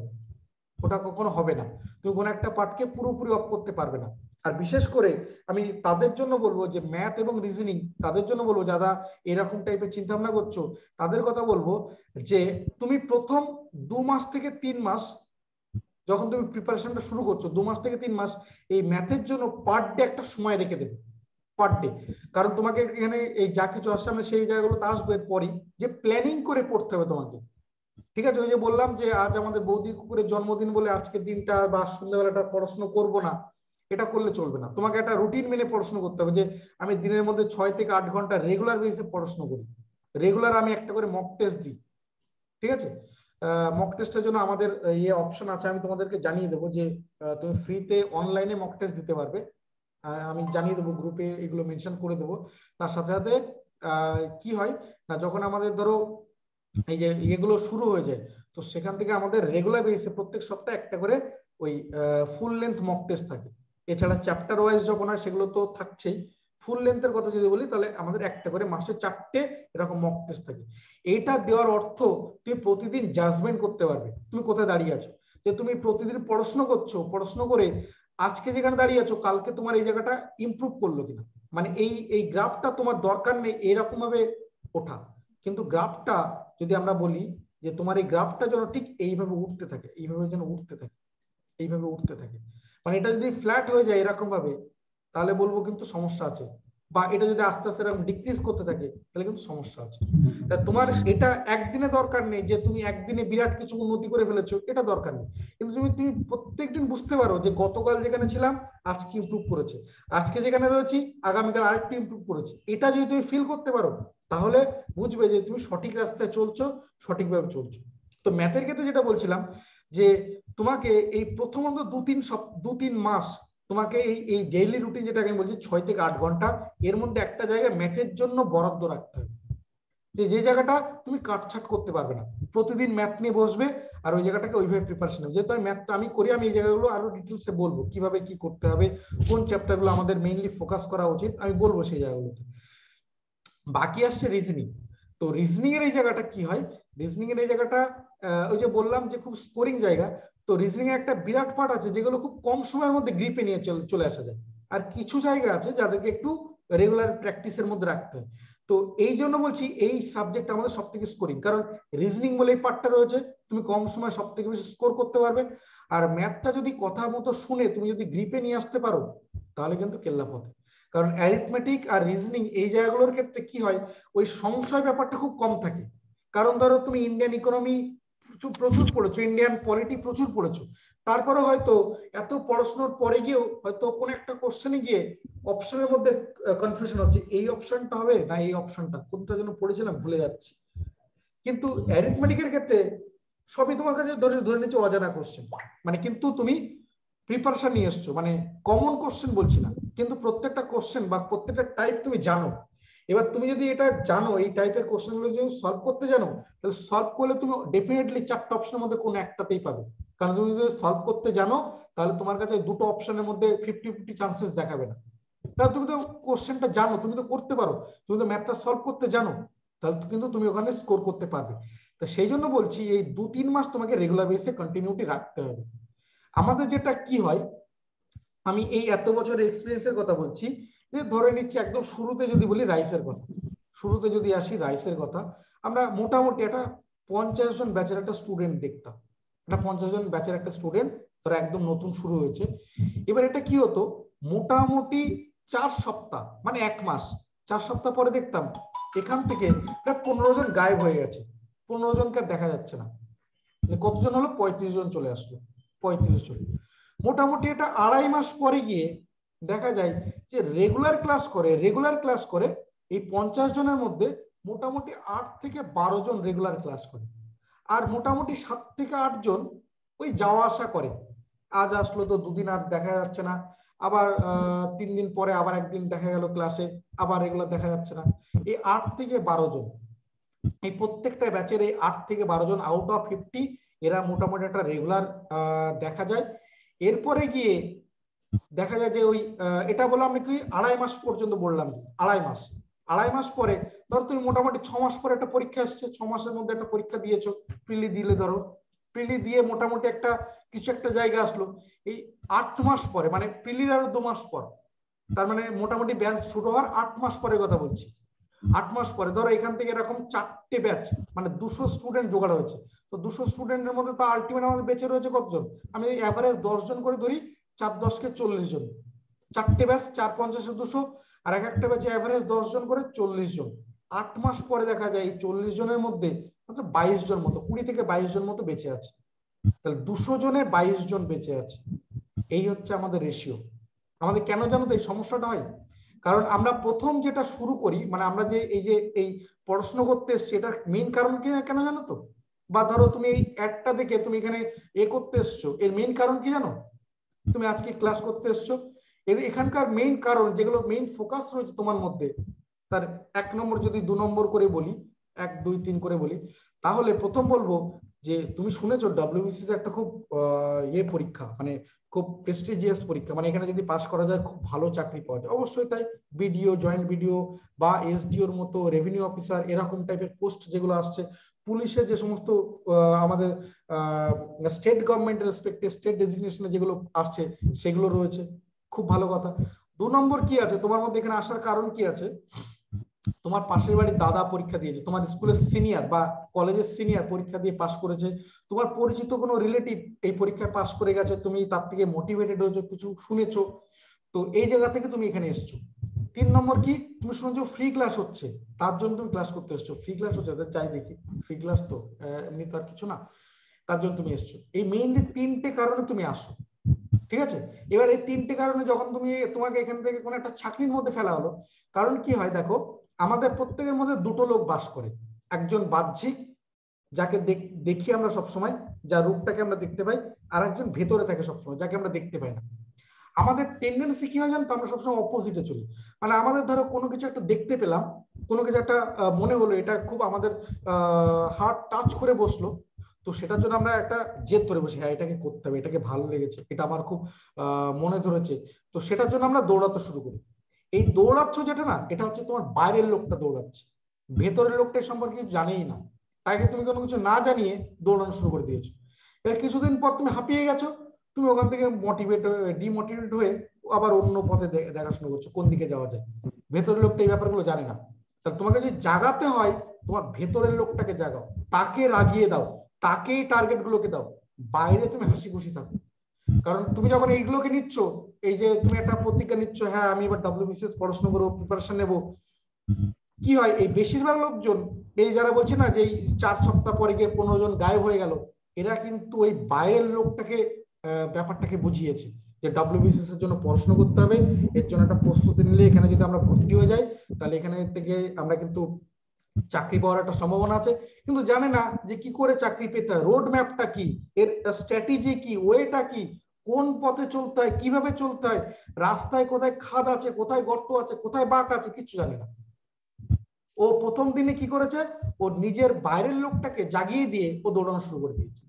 কি হয়? ওই যে বললাম, চার সপ্তাহ পরে হাঁপিয়ে উঠেছে, আর দিশা খুঁজে পাচ্ছে না সামনের দিকে গিয়ে দেখছে মা, এখানে তো রাস্তা শেষ হয়ে যাচ্ছে মনে হচ্ছে, এখানে একটা বড় খাদ দেখা যাচ্ছে।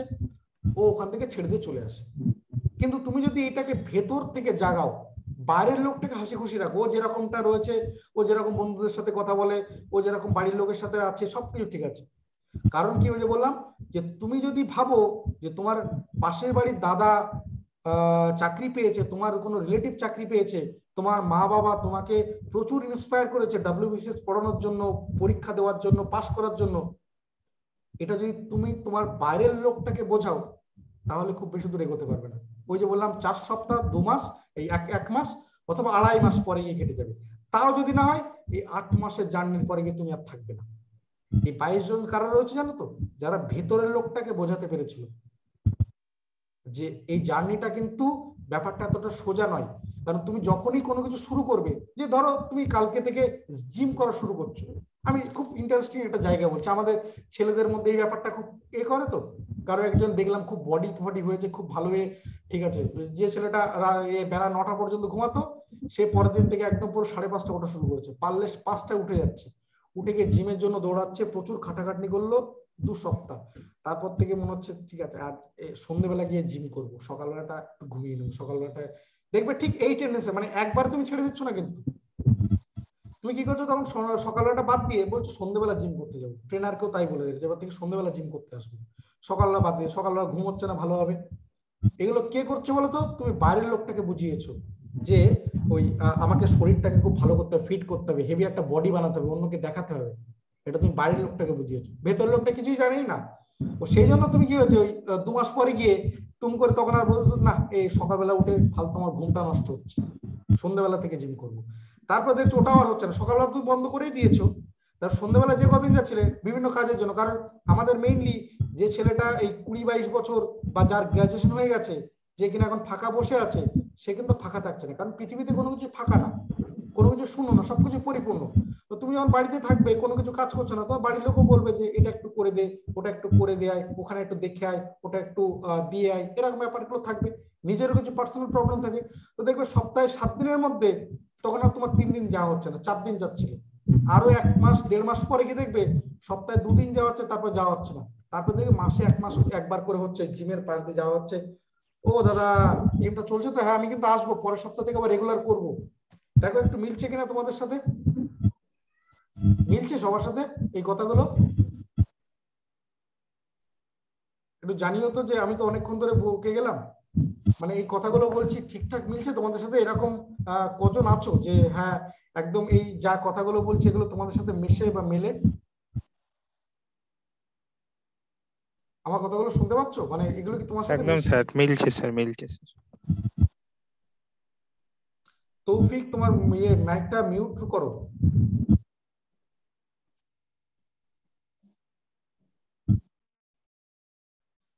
চলো, যে জায়গাটা ছিলাম, তাহলে আমরা যদি এই সিলেবাসটা যদি দেখি, তাহলে মেনের ক্ষেত্রে এই জায়গাটা যেটা দেখাচ্ছি, দেখো মেনের এই এই ছটা পেপার পুরোপুরি সবার জন্য কমন একদম এ বি সি ডি সবার জন্য কমন আমি যদি এবার এ বির জন্য আসি, তাহলে এই সাত নম্বরটা আসছে আমাদের এ বির জন্য। এই যে দেখো, শুধুমাত্র এ বির জন্য। সিডির জন্য এই জায়গাটা নেই। এটা কি আমাদের অপশনাল পেপার তোমাকে একটা অপশনাল পেপার চুজ করতে হয়। মানে আমাদের চয়েস করার মতো অপশনাল পেপার সবকিছুই রয়েছে তবে তোমার যা যা সাবজেক্ট আছে বা তোমার সাবজেক্টের বাইরে যদি অন্য কোনো পেপারে তো বা সাবজেক্টে তোমার প্যাশন থাকে, তাহলেও সেখানে কিন্তু তোমার ওই ইয়েগুলো সাবজেক্টগুলো পেয়ে যাবে। তো তুমি সেগুলোকে নিয়ে ইয়ে করতে পারো। তবে কিছু স্কোরিং পেপার আছে যেগুলো ধরো তোমার সাবজেক্টের সাথে ম্যাচ করছে না। তারা কিন্তু সেই পেপারগুলো দেখতে পারো তো সেগুলো পরে ডিসকাস করা যাবে। তাহলে তোমাকে এবির জন্য তাহলে এই দুশো নাম্বারের দুটো পেপার মানে একটা সাবজেক্টের দুটো পেপার, দুশো নাম্বার করে চারশো নাম্বার তোমাকে এক্সট্রা পড়তে হচ্ছে। সিডি হলে তোমাকে এই জায়গাটা কোনো কিছু করতে হচ্ছে না। আর লাস্ট হচ্ছে পার্সোনালিটি টেস্ট এটা তো সবার জন্য। তুমি প্রিলি কোয়ালিফাই করেছ মেইন কোয়ালিফাই করেছ, তাহলে তোমাকে এবারে পার্সোনালিটি টেস্টের মধ্যে যেতে হবে। এটা এবির জন্য দুশো মার্কস করে, আর সি এর জন্য দেড়শো বি এর জন্য একশো। এই পুরোটা জার্নি কভার করার পর সবকিছু ঠিকঠাক থাকলে ভাগ্য তোমাকে সাথ দিলে তবে তোমার বাড়িতে অ্যাপয়েন্টমেন্ট লেটার আসবে। আদারওয়াইজ আবারও তোমাকে ওই একই রকম মানে এখানেও যদি কোনো প্রবলেম হয় আবারও তোমার সে ঘুরে গিয়ে preliminary then main then personality test আবার সেই একই প্রসেস হ্যালো স্যার হ্যাঁ বলো। স্যার এত কিছু করার পর যদি ইয়ে না আসে অ্যাপয়েন্টমেন্ট লেটার না আসে ওই যে বললাম তাহলে ওই তিন বছরের খাটাখাটনি ফালতু হয়ে গেল। ওই ছেলেদের ক্ষেত্রে বলতে পারবে যে আমার ছেলেটা তিন বছর ধরে পড়াশোনা করেছে আর মেয়েদের জন্য একটা খুব বড় যে যে পক্ষ যখন দেখতে আসবে তখন বলবে যে আমার মেয়ে কিন্তু তিন বছর ধরে রাইসে পড়েছে বা এখানে পড়েছে বা তিন বছর প্রিপারেশন নিয়েছে। এই আচ্ছা তিন বছর নষ্ট? তিন বছর নষ্ট। যা কোনো কাজে লাগবে না। তিন বছরের আগে হয় না? না তিন বছরে কেন আমি বলছি দেখো যে এটা মোটামুটি তোমাকে ডব্লিউবিসিএস যদি বলো ডব্লিউবিসিএস যদি বলো, তাহলে দু বছরের একদিনও কম করলে হবে না। তোমাকে দু বছরের টার্গেট নিয়ে নামতে হবে। ঠিক আছে? এবার এই যে যে প্রিপারেশনগুলো নিচ্ছ, এর সাথে সাথে দেখবে তোমার অনেকগুলো সিমিলার এক্সাম তোমার সাথে ম্যাচ করে যাচ্ছে। তো তুমি সেগুলোতেও ট্রাই নিতে পারো। যেমন স্টাফ সিলেকশন কমিশনের যদি বলি, রেলের কথা বলি, তবে হ্যাঁ যদি ফোকাস মানে প্যাশন যদি ডব্লিউপিসিএস হয়, তাহলে ওদিকে তুমি যাচ্ছ না। তখন তুমি এটার উপরে কিন্তু কনসেন্ট্রেট করছ, বা এটার জন্য এগিয়ে দেখছ। কিন্তু আমি বলব, মধ্যবিত্ত ঘরের ছেলে মেয়ে যাদের ক্ষেত্রে এই এটা প্যাশনটা অবশ্যই রয়েছে কিন্তু সেটা কি হয়? যে এই প্যাশন ব্যাপারটা খালি পেটে খুব একটা ভালো হয় না। ওটা খুব করা যায় না। সেখান থেকে তোমাকে আদার্স এক্সামগুলো তোমাকে দেখতে হবে যে পিএসসি ধরো গ্রুপ সি গ্রুপ ডি বেরিয়েছে। এরা তো ওই বেরোয় না তো। হ্যাঁ সাধারণত বেরোয় না। এটা এগুলো তো একদম ওই ওই বাঘের এর মতো ঘটনা। যে বাঘের চোখ পাওয়ার মতো ঘটনা। তো যদি বা বেরিয়ে যায় তোমার প্রিপারেশনের মধ্যে, হয়তো এরকম হয় না? অনেক ফরচুনেট জেনারেশন যারা হয়তো ওই দু তিন বছরের প্রিপারেশন নিচ্ছিল তার মধ্যে একটা গ্রুপ সি পেয়ে গেছে। তাহলে খুব ভালো ভাগ্য। আর হয়তো অনেকে পেলোই না। প্রিপারেশনের বাইরে চলে গেছে, এবার ওই প্রিপারেশন নেওয়া আছে, অন্য এখন বেসরকারি চাকরি করে, কিন্তু বেরিয়েছে ফর্ম বন্ধুরাও বলেছে ফিল আপ করে দিল। কিন্তু আর এখন সেভাবে প্রিপারেশন নেওয়া হয় না। এরকম আর কি ব্যাপার। এবার অন্যান্য যে সমস্ত আরও যে এক্সামগুলো রয়েছে, যেগুলো আমাদের এই সিলেবাসের সাথে অনেকটা ম্যাচ করে যায়। এক্সট্রা হয়তো কিছুটা পড়তে হয়, কিছু কিছু জায়গাতে এক্সট্রা রয়েছে। যে আমরা যদি বলি স্টাফ সিলেকশন কমিশন তাহলে আমি যদি পার্টিকুলার ম্যাথের কথা বলি ম্যাথের সিলেবাস অনেকটা বেড়ে যায়। রেলের যদি বলি ম্যাথের সিলেবাস অনেকটা বেড়ে যায়। তুলনামূলক জিকে জায়গাগুলো অনেকটা কমে যায়। এই যে সুবিধাগুলো আছে। মানে এই কোথাও কম হচ্ছে, কোথাও বেশি হচ্ছে। তো সেগুলো নিয়ে তোমাকে কিন্তু সবকিছু চলতে হবে। কারণ ওই যে বললাম, মধ্যবিত্ত তো তো খুব বেশি দিন তুমি না খেয়ে থাকতে পারবে না। তো এই এক বছর, দেড় বছর তোমাকে বাড়ি অ্যালাউ করবে, তোমার বাড়ির লোক অ্যালাউ করবে। দু বছর পর্যন্ত আড়াই বছর পর থেকে তোমাকে কথা শোনানো শুরু করবে। কারণ তখনও তোমার বয়স কি হয়ে যাবে? গ্রাজুয়েশন দিয়ে দিয়ে তুমি যখন এই দু বছর, আড়াই বছর, তিন বছর কমপ্লিট করে ফেলেছো, তোমার বয়সও কিন্তু পঁচিশ ছুঁয়ে গেছে। তো তোমার মায় তখন বলবে, কতদিন আর বসে বসে খাবি? এটা কিছু কর। পাশের বাড়ির দেখ, সুমন দেখ, ও তো একটা চাকরি পেয়ে গেছে। ও তো চাকরি করছ, চাকরি পড়ার সাথে সাথে তো প্রিপারেশন নিচ্ছে। ও তো পরীক্ষা দেয়। খুব স্বাভাবিক। মানে এটা যে মা তোমার খারাপ চাইছে তা নয়, কিন্তু যে বাস্তব পরিস্থিতি আমাদেরকে এরকম ভাবে করে দাঁড় করিয়ে দেয়। তো এটা এরকমটা হতেই থাকে, আর হয় এরকম, আকসার এরকমটাই ঘটতে থাকে। আর বেশিরভাগ যে, যাদের মধ্যে সম্ভাবনাগুলো রয়েছে, তারা আস্তে আস্তে হারিয়ে যায়। মানে যে সম্ভাবনা হয়তো আর একটু যদি লালন পালন করা যেত, ঠিক পেত। কিন্তু তার আগের মুহূর্তে হারিয়ে গেল, এখানটায় গিয়ে হারিয়ে গেল। তো আর সে সাফল্যের মুখটাই আর দেখল না। ঠিক আছে? তো আমাদের এখানে এইগুলো আর কিছু বলছি না। আমি রিজার্ভেশন যেগুলো রয়েছে রিজার্ভেশন সবকিছুর জন্য আমাদের এসসি এসটি ওবিসি সবার জন্য রয়েছে। বিশেষ করে আমরা রিজার্ভেশনের কথা বলছি এই কারণে রিজার্ভেশন মেনে মেনে শেষ করে দিলে পুরো দেশটা। এই জায়গাটা আর কোয়ালিফিকেশন এই একটা জায়গায় শুধু। যে কোয়ালিফিকেশনের ক্ষেত্রে ডিগ্রি একটা তোমার থাকতে হবে। যে সেটা যে কোনো সাবজেক্ট রেসপেক্টে যে কেউ যদি ট্র্যাডিশনাল যে ডিগ্রিগুলো রয়েছে সেগুলো রেসপেক্টে বাইরে গিয়ে অন্য কোনো কিছু সাবজেক্টের উপরে যদি ডিগ্রি করে আসে, কেউ বিসিএমসি করে এসছে, কেউ হসপিটালি ম্যানেজমেন্টের উপর ডিগ্রি কোর্স করে এসছে, তাহলেও তারা পরীক্ষা দিতে পারবে। অর্থাৎ তোমার এখানে শুধু একটা ডিগ্রি বলা আছে পার্সেন্টেজও বলা নেই। তুমি তিন বছরের একটা গ্রাজুয়েশন তোমার কাছে ডিগ্রি রয়েছে, তুমি পরীক্ষা দিতে পারবে। আর অন্য কিছু ভাবার দরকার নেই, অন্তত বাঙালি ছেলে মেয়েদের জন্য। এজ আমরা এখানে কুড়ি একুশ বছর দেখছি, তবে বি গ্রুপের জন্য কুড়ি বছর থেকে। ঠিক আছে? এবং এটা আপ টু তোমার ছত্রিশ বছর পর্যন্ত দেওয়া যায়। রিজার্ভেশন হলে তারা, তাদের মতো করে ফেসিলিটি পাবে। আর কনসেশন অফ এজ আমরা এখানে বললাম যেটা এসসি এসটির জন্য পাঁচ বছরের ওবিসির ক্ষেত্রে তিন বছরে আমরা ছাড় পাই। যেখানে আমার বলার জায়গা আমি এই জায়গা থেকে বলতে চাইছি। এই জায়গাটা থেকে আমি বলতে শুরু করছি। অর্থাৎ এতক্ষণ ধরে আমি ডাব্লিউবিসিএস এর কথা বলে আসলাম। এবার এখান থেকে আমি আমার কথা বলতে চাইছি যে আমাদের এই সিক্স ফ্যাক্টর আমাদের উপর কিন্তু সব থেকে বেশি কাজ করে এই জায়গাটা। এই জায়গাটা যদি তোমার এই এই জায়গাটা থেকে তুমি ডিসিশন নিতে পারবে যে তুমি কি করবে। তুমি ডিসিশন নিতে পারবে যে আজকের ক্লাসের পর তোমার কি করা উচিত। তুমি তোমার ওই ভেতরের লোকটার সাথে কথা বলেছ এই ক্লাস করতে আসার আগে? তুমি তার সাথে কথা বলে নিয়েছো যে সে আদৌ পারবে কিনা? তার এই ব্যাপারটাতে প্যাশন আছে কিনা? তো আমাদের একদম প্রথমে এই দুটো ফ্যাক্টর যেটাকে আমরা বলছি এক্সটার্নাল ফ্যাক্টর একটা ইন্টারনাল ফ্যাক্টর এই দুটো যার এক্সটার্নালের মধ্যে আমাদের রয়েছে দুটো প্যাশন আর ডেডিকেশন এই প্যাশন ব্যাপারটা পড়াশোনা করে আসে না, এই ব্যাপারটা কেউ বলে দিলে হয় না। এই, এইগুলো একদম ভেতরকার জিনিস, ঠিক আছে? এগুলো আমাদের পারিপার্শ্বিক বিভিন্ন ঘটনা আমাদেরকে নাড়াচাড়া করে আর সেখান থেকে আমাদের এই প্যাশন ডেডিকেশন জন্ম নেয়। ঠিক আছে? এটা কেউ বলে দিলে হয় না, কেউ করে দিলে হয় না। এই জায়গাটা তোমাকে একদম ভেতর থেকে জাগাতে হবে। ওই যে তার জন্য বলছি যে এক্সটার্নাল পার্ট হচ্ছে এটা প্যাশন ডেডিকেশন মানে এইটা তুমি বিভিন্ন পারিপার্শ্বিক জায়গা থেকে দেখছ। এই যে বললাম, তোমার একটা ভেতরের মানুষ আর একটা বাইরের মানুষ। এইটার কথা বলছি, বাইরের লোকটার কথা বলছি। যে তুমি তোমার দা, কোনো একজন দাদাকে দেখে ইনফ্লুয়েন্স হয়েছো যে হ্যাঁ এই চাকরিটা সত্যি প্রেস্টিজিয়াস এখানে আমাদের এই সময়টা লাগে। মানে তুমি সবকিছু জেনে এসো, তাহলে কি হবে? তোমার ধৈর্যটা ধরতে সুবিধা হবে। তুমি জেনে গেছো যে এরকম একটা ডেডিকেশন এরকম একটা তোমার হার্ডওয়ার্ক এরকম একটা পথের মধ্যে দিয়ে তোমাকে কিন্তু যেতে হবে প্রতিনিয়ত। এখানে ইয়ে রিস্ক আছে। তোমার সময় নষ্ট হওয়ার ব্যাপার আছে। বেশ কিছু টাকা পয়সা নষ্ট হবে। তারপরে তোমাকে কিন্তু এই ডেডিকেশনটা রাখতে হবে। তাহলে এইটা যখন হচ্ছে, তারপর আমরা এই ইন্টারনাল ফ্যাক্টরে যাব। তো এই জায়গাটা যদি তোমার কাছে তৈরি না হয়, তাহলে ইন্টারনাল ফ্যাক্টরে গিয়ে তুমি এগুলোকে কিছু করতে পারবে না। এগুলোকে কিছু করতে পারবে না। তো ফার্স্ট তোমার মধ্যে এই প্যাশন ডেডিকেশনটা নিয়ে আসতে হবে। এই প্যাশন ডেডিকেশন কিন্তু একদিনে আসে না, একবারে হয়ও না। কোনো একটা ঘটনার রেসপেক্ট হয় না। এগুলো আমাদের পারিপার্শ্বিক অনেকগুলো ঘটনা। তোমার ছোটবেলা থেকে বড় হয়ে ওঠা, তোমার আত্মীয় স্বজন বন্ধু বান্ধব এদের সাথে কথা বলা, তাদের ব্যবহার, তাদের পরিচিতি, তাদের ইচ্ছা, অনিচ্ছা, এই সমস্ত কিছু কিন্তু আমাদের এই জায়গাটা ডিপেন্ড করে। ঠিক আছে? এরপরে আসছে আমাদের ইন্টারনাল ফ্যাক্টর এই ইন্টারনাল এই চারটি ফ্যাক্টর ভীষণ দামি। মানে এর মধ্যে যদি কোনো একটা যদি কমে যায় বুক লিস্টের ক্ষেত্রে আমি আসব, সবকিছুই বলব। এই এই চারটে ফ্যাক্টরের মধ্যে যদি কোনো একটা যদি কমে যায় যে সবগুলো হান্ড্রেড পার্সেন্ট আসছে। কিন্তু একটা কি নাইনটি এইট পার্সেন্ট হয়ে গেল। তাহলে তুমি কিন্তু ওই আবার গিয়ে কোন একটা জায়গাতে গিয়ে আবার রিভিউ করছ। মানে প্রিলি কোয়ালিফাই করে গেলে খুব ভালো প্রিপারেশন মেইন কোয়ালিফাই করে গেলে পার্সোনাল টেস্টে গিয়ে কেটে গেলে দিয়ে আবার এটা তোমাকে সার্কেল কভার করছে। তাহলে তোমাকে এই এই জায়গাটা তোমাকে হান্ড্রেড পার্সেন্ট হতে হবে। রেগুলারিটি হার্ডওয়ার্ক পেশেন্স আর সেলফ কনফিডেন্স অ্যান্ড মোটিভেশন ওই যে বললাম, ছ মাস পরে একটা পরীক্ষা দিয়েছিলে, পরীক্ষাটা দিয়ে দেখলে খুব একটা ভালো আসছে না।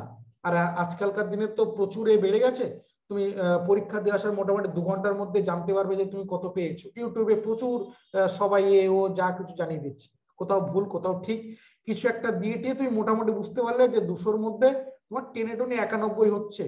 আর এক জায়গায় দেখলে পঁচানব্বই হচ্ছে, কোথাও গিয়ে দেখলে একশো এক হচ্ছে। তাহলে তুমি বুঝে গেছো প্রিভিয়াস ইয়ারের যে এগুলো সেখান থেকে একশো পনেরোর কমে কোনোভাবে হবে না। এবার এটা আরও বাড়তে পারে একশো কুড়িও হয়ে যেতে পারে প্রিলি কোয়ালিফিকেশন মার্কস পঁচিশও হয়ে যেতে পারে। তো পঁচিশ পনেরো তো দূরের কথা তোমার একশো পাঁচই কভার হচ্ছে না। তাহলে তুমি কি করলে? তোর বাবা এটা ছেড়ে দাও। আপাতত ডব্লিউবিসিএস থাকুক আমি অন্য কিছু একটা দেখি। এবার সিজিএলটা দেখছি সিএইচএসএলটা দেখছি রেলটা দেখছি আবার ডব্লিউবিসিএস পরে দেখব। তাহলে প্রথমবার তুমি হ্যাঁ। প্রথমবার তুমি কি করলে? যে এই প্রথমবার কিন্তু তুমি তোমাকে এই ক্ষতি করা শুরু করলে। একটা ভুল পথে চালনা করা শুরু করলে। ঠিক আছে? কারণ এইবার তুমি যদি এটাকে ভাবো যে এখান থেকে তুমি কিছু শিক্ষা নাও যে কোথায় কোথায় তোমার প্রবলেমগুলো আছে খাতায় মধ্যে লেখো যে যে প্রত্যেকটা সাবজেক্ট ধরে ধরে লেখো যে এই সাবজেক্টে তোমার খুব ভালো প্রিপারেশন আছে। এই প্রত্যেকটা সাবজেক্ট রেসপেক্টে তিনটে ক্যাটাগরি তৈরি করো। তিনটে ক্যাটাগরি তৈরি করো। কি কি ক্যাটাগরি যারা হচ্ছে যে মানে যে ক্যাটাগরির মধ্যে যে তুমি খুব বেস্ট জায়গায় রয়েছো, যে যে জায়গার ক্ষেত্রে শুধুমাত্র একটু প্র্যাকটিস করলে তোমার হয়ে যাবে। একটা রয়েছে সোসো মিডিয়াম মানে এখানে কিছু চ্যাপ্টার আছে তোমাকে আরেকটু ভালো করে পড়াশোনা করতে হবে। আর কিছু জায়গা আছে যেখানে আরেকটুখানি তোমাকে প্র্যাকটিসের দরকার আছে। আর আরেকটা পার্ট কি করো, যেখানে তোমার প্রিপারেশন খুব দুর্বল। আমি পার্টিকুলার সাবজেক্টের কথা বলছি। রিজনিং ধরে সব থেকে সোজা জায়গা, তাহলে তুমি ওখানে তৈরি করো যে কোন চ্যাপ্টারগুলো তোমার সব থেকে স্ট্রং জায়গা। সেগুলোকে রেগুলার প্র্যাকটিস করে যাও। কোন চ্যাপ্টারগুলোর ক্ষেত্রে প্রিপারেশন দরকার আছে এখনও পর্যন্ত? সেগুলোকে সময় দাও। কোন জায়গাগুলোতে খুব দুর্বল, তুমি একদমই পারো না, সেগুলোকে আবার তোমার টিচারের থেকে শুরু করো। তুমি যেখান থেকে যা চাইছো, সেই চ্যাপ্টারগুলোর উপর বেশি করে ফোকাস করো। টাইম দাও। তুমি ধরো এখানে ধরে নিচ্ছি যে টোটাল আমাদের যদি চল্লিশটা সাবজেক্ট চ্যাপ্টার হয় রিজনিং এ, তাহলে ধরে নিচ্ছি যে তোমার রিজনিং এর এখানে পঁচিশটা চ্যাপ্টার খুব ইয়ে সুন্দর প্রিপারেশন রয়েছে। দশটা চ্যাপ্টারের ক্ষেত্রে তোমার মোটামুটি প্রিপারেশন পাঁচটা চ্যাপ্টারের ক্ষেত্রে মোটামুটি মানে খুব দুর্বল জায়গায় রয়েছে। তুমি কি করবে? এই দশটাকে আস্তে আস্তে কনভার্ট করে দিকে নিয়ে আসার চেষ্টা করবে। যে দশটার থেকে একটা, দুটো, তিনটে, চারটে, পাঁচটা, আর এখান থেকে এখানে কনভার্ট করার চেষ্টা করবে। পাঁচটা থেকে এখানে চারটে করলে, তিনটে করলে, দুটো করলে, এইভাবে। তো তাহলে তোমার কাছে একটা হিউজ টাইম আসছে যে এর পরবর্তী পিলির জন্য তোমার কাছে এক বছরের সময় রয়েছে। প্রত্যেকটা সাবজেক্ট এরকম ভাবে করো। তার মানে তুমি যদি প্ল্যানিং না করো তাহলে কিচ্ছু হবে না। দেখো, প্রতি বছরই পরীক্ষা দিচ্ছ প্রিলি কোয়ালিফাই হচ্ছে মেইন হচ্ছে না। মেইন হচ্ছে তো তারপরে রেগমে যাচ্ছে না। তার জন্য তুমি কি করছ, তখন তুমি কি করবে জানো তো, এখানে তখন সান্ত্বনা দাও তোমাকে। ইনস্টিটিউট ভালো করে পড়ায়নি টিচার ভালো করে পড়ায়নি। বাবা মা আমার সাথে বিট্রে করেছে। ভগবান আমার সাথে বিট্রে করেছে। আমার বন্ধু বান্ধবগুলো আমার সাথে বিট্রে করেছে। কারণ তোমাকে তো সান্ত্বনা দিতে হবে, তোমাকে তুমি নিজের দোষ কখনো দেখতে পাবে না তো। দিয়ে আলটিমেট এই করে একটা একটা কিছু একটা এখান থেকে একটা প্রতিষ্ঠা করার চেষ্টা করলে, করে এখান থেকে মোটিভেট ডিমোটিভেট হয়ে তুমি অন্য আর একটা ফিল্ডে চলে যাওয়ার চেষ্টা করবে, আর একটা কিছু করার চেষ্টা করবে। তো এই জায়গাটাকে তুমি যদি ভালো করে পোস্টমর্টেম না করো, কোথায় তোমার ফল্টগুলো রয়েছে, সেগুলো যদি রেকটিফাই না করো, আর সেইটাকে নিয়ে যদি তুমি আর একটা নতুন জায়গায় যাও, তাহলে তুমি আবারও ভুল করবে।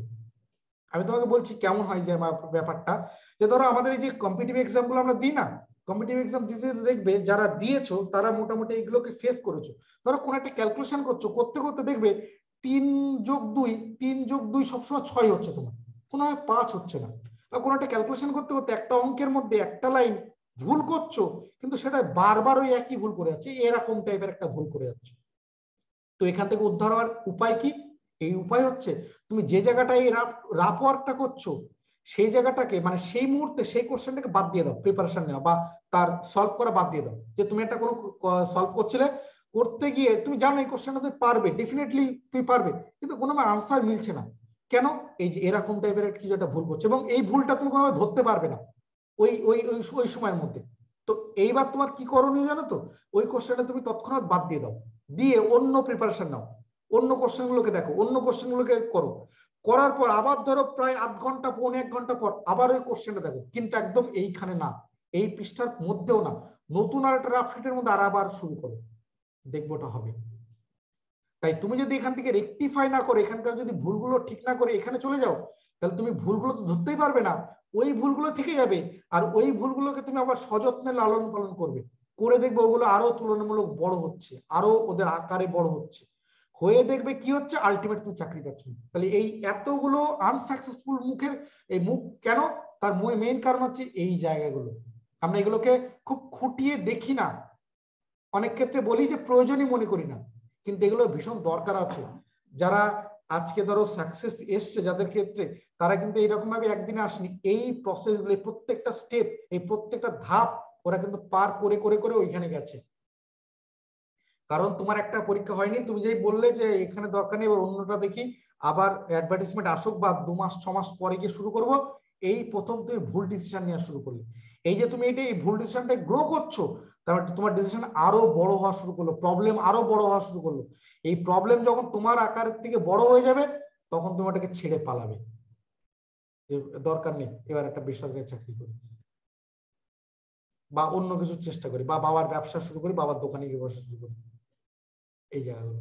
তাহলে এইটা হচ্ছে তোমার মেইন এ তুমি যদি এটাকে প্রতিদিন রেগুলার বেসে দেখো, তাহলে কিন্তু খুব ভীষণ ভাবে কারণ আমাদের প্ল্যানিং দরকার আছে। প্ল্যানিং ছাড়া তুমি এক পা এগোলে তা ভুল হয়ে যাবে। প্ল্যানিং দরকার আছে। এবার তুমি বলতে পারো, এর জন্য তো সময় নষ্ট হবে। না, সময় নষ্ট হবে না। কারণ এই পুরো সময়টা এর মধ্যে ইনক্লুড এর মধ্যে সবকিছু ইনক্লুড তোমাকে তার জন্য তুমি যদি একজন এক্সপার্ট টিচারের সাথে এই নিয়ে কথা বলো, এগুলোকে নিয়ে একটু বসো, দেখবে সে তোমাকে একটা রুট ম্যাপ একটা ডাইরেকশন তৈরি করে দেবে। এবং সেখানে যদি তোমার নিজের কিছু স্ট্র্যাটেজি কাজে লাগাও, তখন দেখবে সেটা আরও বেশি এফেক্টিভ হয়ে যাচ্ছে এবং সেটা সাকসেসফুল হতে বাধ্য। কোথাও না কোথাও গিয়ে সেটা দেখবে ঠিক সাকসেসফুল হয়ে যাচ্ছে। আমি আশা করি তোমাদেরকে বোঝাতে পারছি। ডাব্লিউবিসিএস এর জন্য যেটা দরকার মেইনলি সেটা হচ্ছে দীর্ঘকালীন প্রস্তুতির মানসিকতা, যেটা আমাদের সবার মধ্যে থাকে না, ওই যেটা বললাম যে মাত্র এক মাস দেড় মাস, আড়াই মাসে ছেড়ে দিয়ে চলে যাচ্ছে। তো এই জায়গাটা প্রথমেই লেগে থাকার মানসিকতা খুব ইম্পর্টেন্ট জায়গায় গেল। ধৈর্য, অধ্যবসায়, একাগ্রতা না থাকলে তুমি করতে পারবে না। আত্মবিশ্বাসী মনোভাব যে তুমি পারবে, নিজেকে সবসময় বলতে পারবে, এটা পারবে। কারণ আমি ওই যে আমি বললাম যে একদম প্রথমে যে প্রথমে যদি তুমি এরকম নিজেকে দুর্বল শো করে দাও না, প্রথমে যদি তোমার ওই দুর্বল জায়গাগুলো, তোমার আঘাতপ্রাপ্ত জায়গাগুলো যদি অন্যের কাছে শো করে দাও না, তাহলে তুমি আর কোনোদিন করতে পারবে না। তাই তোমার এই আত্মবিশ্বাসী মনোভাব থাকতে হবে। ওই যে যেটা একদম শুরুতে বলছিলাম যে তুমি এখানে এ করতে এসছো সরকারি ইয়ে ডাব্লিউবিসি প্রিপারেশন নিতে এসছো, আর প্রথমেই তুমি এটা বলে নিয়েছো নিজেকে যে আমি তো এই বছরই জাস্ট গ্রাজুয়েশন কমপ্লিট করলাম মানে আমি এখনও পর্যন্ত খুব ভালো জানি না। কেন? জানো না কেন? যদি নাও জানো, তাহলে জেনে নাও। এখন তো এই যে একদম প্রথমে বললাম যে যখন আমাদের কাছে স্মার্টফোন আর ডেটা অ্যাভেলেবেল তাই ওই কোচবিহার, কল্যাণী আর কলকাতার মধ্যে কোনো পার্থক্য নেই, সব এক। সব এক। তুমি ওই টালির ঘরে শুয়ে দেখো আর কেউ দশতলার ছাদের উপর শুয়ে দেখো। দুটো জিনিস একই, কোনো পার্থক্য নেই। তা তুমি যদি এখান থেকে বলো, আমি এগুলো জানি না এখনও পর্যন্ত, জেনে নাও, হাজার একটা ইয়ে রয়েছে তোমার ইনফরমেশনের জায়গা রয়েছে। তো সবকিছু পেয়ে যাবে। এ টু জেড তুমি যদি একটু মনে করো যে হ্যাঁ এটা জানার চেষ্টা করবে, তুমি এ টু জেড জানতে পারবে। তুমি পাঁচ দিন সময় দাও ঘেটে পুরো ঘ হয়ে যাবে যে কি আছে, কোথায় কি আছে, সব জেনে যাবে। তাই এইগুলোকে বলে নিজেকে দুর্বল করে দেবে না। যে আমি এই বছর প্রথমবার প্রিপারেশন নিচ্ছি, আমি দেখতে যাচ্ছি শুধু এক্সপিরিয়েন্স গেইন করতে যাচ্ছি, এগুলো একদম করবে না। তুমি এটাই ভাববে যে এই দু হাজার তেইশের প্রিলি আমার জীবনের লাস্ট এরপর আর আসবে না। এটা খুব সত্যি কথা। কেন জানো? দু হাজার তেইশের প্রিলি তুমি যেভাবে দেবে দু হাজার চব্বিশের প্রিলি তুমি সেভাবে দিতে পারবে না। এই দুটো সময়ের মধ্যে পার্থক্য আছে। এবং এটা কি হবে? যেহেতু এইখানটা তোমার এক বছরের বয়স বেড়ে যাচ্ছে, তাহলে এখানকার ক্ষেত্রে তোমার দায়বদ্ধতা তুলনামূলক বাড়বে। এই জায়গাটা তোমার দায়বদ্ধতা তুলনামূলক বাড়বে। তাহলে দায়বদ্ধ যখন অন্য জায়গাতে বাড়ছে, তাহলে তোমার তো টাইম দিনের মধ্যে চব্বিশ ঘণ্টা। তুমি তো পড়াশোনার জন্য ছয় থেকে আট ঘণ্টা টাইম দিচ্ছ। তাহলে তার মধ্যে যদি দায়বদ্ধতা বাড়ে, তাহলে এই জায়গাটা প্রিপারেশনের জন্য কমবে না। এই জায়গাটার জন্য তখন ঘাটতি হবে না? এখানে তখন তোমার কাছ থেকে টাইম বেরোবে না? যে হ্যাঁ ছয় থেকে আট ঘণ্টা জায়গা, ছয় থেকে সাত ঘণ্টা হয়ে যাচ্ছে, ছয় থেকে সাড়ে সাত ঘণ্টা হয়ে যাচ্ছে। তাহলে প্রতিদিন আট ঘণ্টা মানে বছরে কত ঘণ্টা? বুঝতে পারছ? তাই তুমি সবসময় এটাকে ধরবে। দু হাজার তেইশের প্লে দিচ্ছ মানে দু হাজার তেইশ তোমার জীবনের লাস্ট সুযোগ। এরপরে তুমি এই পরীক্ষা দেওয়ার সুযোগ পাবে না। তুমি নিজেকে এইভাবে বোঝাবে, তুমি নিজেকে এইভাবে প্রস্তুতি নেবে, তুমি নিজেকে এই মেন্টালিটি নিয়ে এক্সাম হলে যাবে, তবে তুমি কিছু করতে পারবে। আর তুমি যদি এগুলোকে না শোনো, না বোঝো, তাহলে সমস্যা। Regular mock test class work homework এই অনুশীলনের মধ্যে থাকা এক্সারসাইজের মধ্যে থাকা। কারণ এই, এইগুলো কি করবে? এই যে class test mock test homework এগুলো তোমায় কি করবে? জাজমেন্ট করবে। যে আজকে তুমি আর আগামীকালকে তুমির মধ্যে পার্থক্য কোটা ডিফারেন্স কি? যে আজকে তুমি বিয়োগ আগামীকালের তুমি ইজ ইকুয়াল টু কি আসছে? এটা যদি জিরো হয়ে যায়, তাহলে সমস্যার কারণ এটা যদি কিছুটা হয়, যে এটা ধরো তুমি এক এসছে, দেড় এসছে ওয়ান পয়েন্ট ফাইভ এসছে জিরো পয়েন্ট ফাইভ এসছে, তাহলে বুঝবে হ্যাঁ এগোচ্ছে, ব্যাপারটা এগোচ্ছে। কিন্তু আজকে তুমি আর আগামীকালকে তুমি মধ্যে যদি পার্থক্য না পাও, এটা যদি জিরো হয়ে যায়, তাহলে কিন্তু আর হলো না। তুমি কিন্তু ফেল করে গেলে, এইখানে ফেল করে গেলে। তো এইখান থেকে তুমি নিজেকে প্রত্যেক দিন জাজমেন্ট করতে পারবে প্রত্যেক দিন মেজার করতে পারবে। যে আমার কি করা উচিত আর কি করা উচিত না? আমার কতটুকু এ করা উচিত?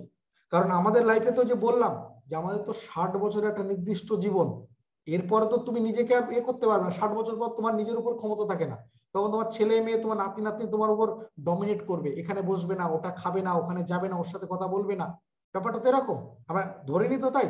তো তার মধ্যে দু তিন বছর যদি এই এই কাটিয়ে মানে তোমার লাইফের কুড়ি ভাগের এক ভাগ তুমি এই করে সময় নষ্ট করে দিয়েছ। তাহলে আলটিমেট রেজাল্ট কি আসলো? তাহলে তুমি এই যে সময়টা নষ্ট করছ, তো তার রেসপেক্টে তুমি মাপবে না? যে হ্যাঁ আমার রেজাল্ট কি জিরো প্রতিদিন কি জিরো আসছে? তো তুমি যদি এটা না মাপতে পারো, তুমি যদি মা না মাপতে শেখো, তাহলে তুমি ভুল করবে। তাহলে তুমি কিন্তু ওই নাইনটি ফাইভ পার্সেন্টের দলে পড়ে আসছো। আর তুমি যদি এটাকে রেগুলার মেজার করো, ওই ফাইভ পার্সেন্টের দলে চলে আসতো। তাহলে তোমাকে এইখান থেকে এইখানে টপকাতে হবে। এটা কেউ করে দিতে পারবে না। তোমার বাবা মা তোমার ফ্রেন্ডস তোমার রিলেটিভস এমনকি তোমার ইনস্টিটিউট বা টিচার করতে পারবে না। এই জায়গাটা তোমাকে করতে হবে। কারণ কি বলতো? এই যে যা কিছু বলছি এগুলো তো ভেতরের লোকটার কথা বলছি। ভেতরের লোকটার সাথে কারোর কথা হয় না। তাই না? কারণ তোমাকে তোমার মা বলে দিল, তাড়াতাড়ি ঘুমিয়ে পড়, ফোন ঘাটিস না সকালবেলা উঠে পড়াশোনা করতে বসবি। ভেতরের লোকটা বলে দা, আরেক আর দু চারটে রিল দেখে নি, তারপরে শুচ্ছি ওখানেই হয়ে গেল। কারণ ভেতরের লোকটার সাথে কারোর কমিউনিকেশন হয় না। কেউ জানে না তোমার ভেতরে কি চলছে এই মুহূর্তে, কেউ জানে না। আমিও জানি না। মানে এখানে যারা রয়েছে, তাদের হয়তো আরও দু চার দিন, দশ দিন কথা বললে ক্লাস ক্লাস করলে হয়তো কিছুটা হলেও চেনা যাবে। তোমরা আমাকে হয়তো চিনতে পারবে। কিন্তু আমার ভেতরের লোকটাকে তোমরাও চেনো না, আমিও কিন্তু তোমাদের ভেতরের লোকটাকে চিনি না। তাই এই লোকটাকে প্রতিদিন মোটিভেট করা, তাকে মেজার করা যে এই ভেতরের লোকটা এগোচ্ছে তো, এক জায়গায় দাঁড়িয়ে নেই তো। এটার দায়িত্ব তোমার। একমাত্র তোমার দায়িত্ব। এটা যদি করতে পারো, তাহলে এই পঁচানব্বই পার্সেন্টের গ্রুপ থেকে বেরিয়ে তুমি ফাইভ পার্সেন্টের গ্রুপে ঢুকতে পারবে। আর যতক্ষণ না তুমি এই গ্রুপে ঢুকতে পারছ, কারণ সাকসেসটা এই গ্রুপের সাথে লেখা রয়েছে, এই গ্রুপের সাথে সাকসেস বলে ওয়ার্ডটাই নেই। কারণ এরা তো প্রত্যেকবারই ফেল করছে। কেন? ওই যে বারবার ভুল প্ল্যানিং ভুল তোমার চিন্তা ভাবনা ভুল পথে যাওয়া, ভুল ডিসিশন তাই এই গ্রুপের সাথে সাকসেস বলে ওয়ার্ডটাই লেখা নেই। তাই তোমাকে এই গ্রুপ থেকে বেরিয়ে এই গ্রুপে আসতে হবে। এই গ্রুপের এন্ট্রি বা এই পথটা এতটা সোজা নয়। এখানে অনেকগুলো স্টেপ আছে, অনেকগুলো বাক মোড় খাদ, গর্ত অনেক কিছু রয়েছে। তো তোমাকে এইগুলো পেরিয়ে তোমাকে এখানে আসতে হবে। এখানে আসতে পারলে তুমি সাকসেসের মুখ দেখতে পারবে আমি আশা করি এই পর্যন্ত মোটামুটি বোঝা গেছে সবার। আমার এতটুকু বলার ছিল। আমরা এবার পার্টিকুলার ম্যাথের পার্টে বা রিজনিং এর পার্টে একটু যাব। দেখব কেমন টাইপের কি হয় বা কিছু। একটু যদি কারও কোনো কোশ্চেন থেকে জিজ্ঞাসা করো। তোমরা মাইক আনমিউট করতেই পারবে। যদি কারও কোনো কোশ্চেন দেখে জিজ্ঞাসা করো। বা কোথাও কোনো অসুবিধা আছে কিনা যতটুকু যা বললাম। হ্যালো স্যার হ্যাঁ বলো। হ্যাঁ বলছিলাম যে স্যার আপনি যে মেইনসে arithmetic and test of reasoning এর কথাটা বললেন এটা কি পেপার সিক্স এটা কি এমসিকিউ টাইপ আসবে নাকি এমসিকিউ এমসিকিউ মানে আমাদের যে পেপার ইয়ে মেইনের জন্য ছটা পেপার আছে না ছটা হ্যাঁ, পেপারের হ্যাঁ। প্রথম দুটো পেপার বাংলা এবং ইংলিশ এই দুটো হচ্ছে ডেসক্রিপটিভ বাকি সব কিন্তু এমসিকিউ ওকে বাকি সব এমসিকিউ আর যদি কারও কোনো কোশ্চেন থেকে আমি এখানে মধ্যে লিখেও দিয়েছিলাম। এই যে এই জায়গাটা দেখো। এই জায়গাটা এই দুটো হচ্ছে ডেসক্রিপটিভ আর এই জায়গাটা হচ্ছে আমাদের এই যে এমসিকিউ এই পুরো ছটা বাকি চারটে পার্ট একটু দেখো তো যে এই প্রায় আমি এক ঘণ্টা কুড়ি মিনিট বকে গেলাম এগুলো তোমাদের সাথে ম্যাচ করল কিনা বা মনে হচ্ছে কিনা হ্যাঁ ঠিকঠাক বলছি। হ্যাঁ স্যার ঠিকই বলেছেন। এবার আমি বলে দিই এবার আমি কে? আমার নাম রজত ঘোষ দেখতেই পাচ্ছ এটা আমার নাম আমি রজত ঘোষ।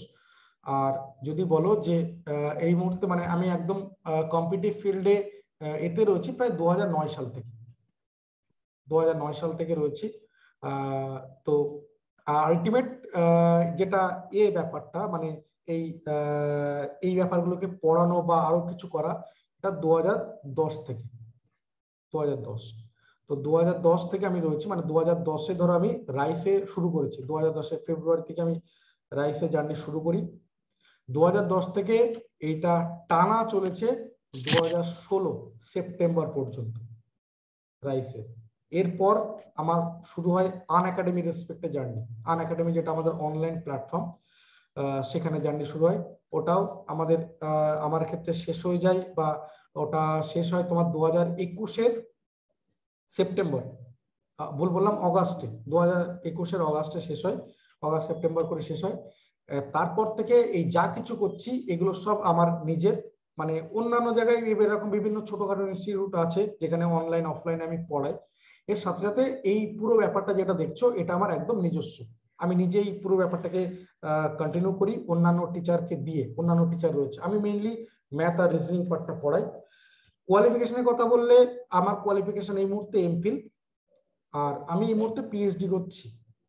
ঠিক আছে? আর যেহেতু আমার এই ফিল্ডে বা এই জায়গাগুলোতে বেশি রয়েছে নেট কোয়ালিফাই রয়েছে, আমার এই জার্নিটা যেটা বললাম, আমার নিজস্ব, সেটা শুরু হয়েছিল ওই নেট সেটের ব্যাচ দিয়ে। নেট সেটের ব্যাচ দিয়ে। আমার প্রথম ব্যাচ এই নেট সেটের ব্যাচ দিয়ে শুরু, যেখানে আমি একা একা পড়াতাম। কারণ এই পার্টটার সাথে আমি পুরোটা পড়াতে পারি একা। কিন্তু যদি বলি আমি ডাব্লিউবিসিএস এর বলি, তাহলে ডাব্লিউবিসিএস এর ক্ষেত্রে আমি সব পার্ট জানি না। কারণ আমার ক্ষেত্রে মানে আমি ধরো হিস্ট্রি পড়ে এসেছি তোমার মতো মাধ্যমিক পর্যন্ত। তারপর আমি হিস্ট্রি পড়িনি। তাহলে হিস্ট্রি আমি পড়াতে পারব না। জিওগ্রাফি আমি পড়াতে পারব না। আমি পলিটিক্যাল সায়েন্স আমি পড়িনি, আমি পড়াতে পারব না। ইকোনমিক্স যদি আমার পড়া আছে, কিন্তু ওটা দিয়ে পড়ানো যাবে না। ঠিক আছে? এরপরে যদি বলি অন্যান্য পেপারগুলো, আমার যেহেতু সায়েন্স ছিল, কিন্তু ফিজিক্স কেমিস্ট্রি বা বায়ো সায়েন্স অনেকটাই ভুলে গেছি। মোটামুটি ফিজিক্স কেমিস্ট্রি কিছুটা মনে আছে, কিন্তু পড়াতে পারব না। তাহলে আমি পড়াতে পারি যেটা, সেটা হচ্ছে এই ম্যাথ আর রিজনিং এই দুটোতে, আর এই দুটোতে আমি দীর্ঘদিন বছর, এই দু হাজার দশ থেকে সেই পড়ানো শুরু করেছি। তারপরে দু হাজার ষোলো রাইসের শেষ হওয়ার পর আন একাডেমি আন একাডেমিতে শেষ করে এই এখন আমার নিজস্ব। এইভাবে চলছে। তাহলে এই জায়গাটাতে আমি অনেক বেশি কনফিডেন্ট আমি এই জায়গাটাতে অনেক বেশি বলতে পারি হ্যাবিচুয়েট আমি এখান থেকে অনেক বেশি ফ্রিলি মুভ করতে পারি। ঠিক আছে? তো আমার শুরুটা হচ্ছে নেট সেটের ব্যাচ দিয়ে। এরপর আস্তে আস্তে যেগুলো শুরু হয় নেট সেটের সাথে সাথে যে এরপরে যেটা শুরু হয় পুলিশের ব্যাচ দিয়ে শুরু হয়। পুলিশ আমি যা কিছু করি, চেষ্টা করি সেগুলোকে সিস্টেমেটিক করার। মানে আমার ক্ষমতা নেই, আমার ক্যাপাসিটি নেই, আমি সেটাকে নিয়ে বসলাম, এরকমটা আমি করি না। তা আমি তোমাদেরকে বলিনি যে আমি ডব্লিউবিসিএস শুরু করে দিয়েছি এখনও পর্যন্ত। আমি কি করলাম নেট সেটের থেকে মানে নেট সেট তো আছে, এরপর আমি পুলিশটাকে নিলাম। পুলিশের যে ব্যাচগুলো হয়, পুলিশের তোমার ইয়েটা এসআই কনস্টেবল যেগুলো হয়, বিশেষ করে আন একাডেমির শেষ মুহূর্তে জায়গাগুলোতে পুলিশের ব্যাচে বা ওই জায়গা থেকে আমার একটা খুব ভালো পরিচিতি এসেছিল। তো এই আমি যখন নিজে শুরু করি, তো নেট সেটের সাথে সাথে এই পুলিশের ব্যাচ দিয়ে শুরু করি। পুলিশের ব্যাচ দিয়ে শুরু করি। এরপর তারপর যখন আমাদের এইগুলোতে খুব ভালো চলছিল, খুব ভালো এ চলছিল, এরপরে আমি শুরু করি রেল। কারণ রেলের এনটিপিসি মনে করে দেখো কিছুদিন আগে হয়েছে, রেলের এনটিপিসি তো এরপর আমরা শিফট করি রেলে। শিফট বলতে এই নয় যে এগুলো বাদ দিয়ে দিয়েছি। নেট সেট আছে, পুলিশের ব্যাচ এখনও রানিং আছে, যেটা ডিসেম্বর একটা শেষ হবে, আবার জানুয়ারি থেকে আবার একটা শুরু হবে। রেলের ব্যাচ এগুলো সব একই রকম। মানে আমার কাছে এরকম জেন কম বলে আলাদা করে কোনো ব্যাচ নেই। জেনারেল কম্বাইন বলে ব্যাচ হয়, এরকম কোনো কিছু ব্যাচ নেই। আমি যা কিছু করি, এই এক্সাম ওরিয়েন্টেড মানে পার্টিকুলার এক্সামের জন্যই ব্যাচ করি। এবং সেই ক্ষেত্রে কি হয় যে, সেই রকম টাইপের নাম্বার অফ ক্লাস সেগুলোকে দিয়ে, এরপর কি হলো, আমাদের সময় চলে আসলো ইয়ে মানে যেটা একটা ঝড় উঠল গিয়ে, এই primary TET S L S T এইগুলো নিয়ে ঝড় শুরু হলো। তো সেখান থেকে এ করা তো S L S T batch primary batch এইগুলোতে। এবং এখনও পর্যন্ত বলতে গেলে যে যেহেতু প্রাইমারি ওটা সব থেকে বড় তো প্রাইমারি এটাতে একটা বিরাট সুনামি এসেছিল এবং বলতে পারো যে এখনও পর্যন্ত একটা ব্যাচে এত স্টুডেন্ট এই প্রাইমারি ব্যাচে হয়েছিল একসঙ্গে। নেট সেট বা এগুলোর ক্ষেত্রে কি হয় যে আমরা ওই সবকিছু পঞ্চাশ জন স্টুডেন্টের রেসপেক্টে রাখি, পঞ্চাশ জন স্টুডেন্টের রেসপেক্টে নেট সেটও তাই পঞ্চাশ ষাট জনের মধ্যে থাকে, পুলিশের ব্যাচও তাই রেলের ব্যাচও তাই, সব পঞ্চাশ ষাট জনের মধ্যে। আমরা যখন এই প্রথমবার যে প্রাইমারি শুরু করলাম, কারণ প্রাইমারি প্রথমবারই হবে, তো সবার ক্ষেত্রে তাই, কারণ এর আগে প্রায় সাত আট বছর কোনো পরীক্ষায় হয়নি। তো এই প্রাইমারি ব্যাচে আমাদের কিন্তু একশোর গন্ডি পার করে দুশো ছুঁয়ে ফেলবে প্রাইমারি ব্যাচের ক্ষেত্রে।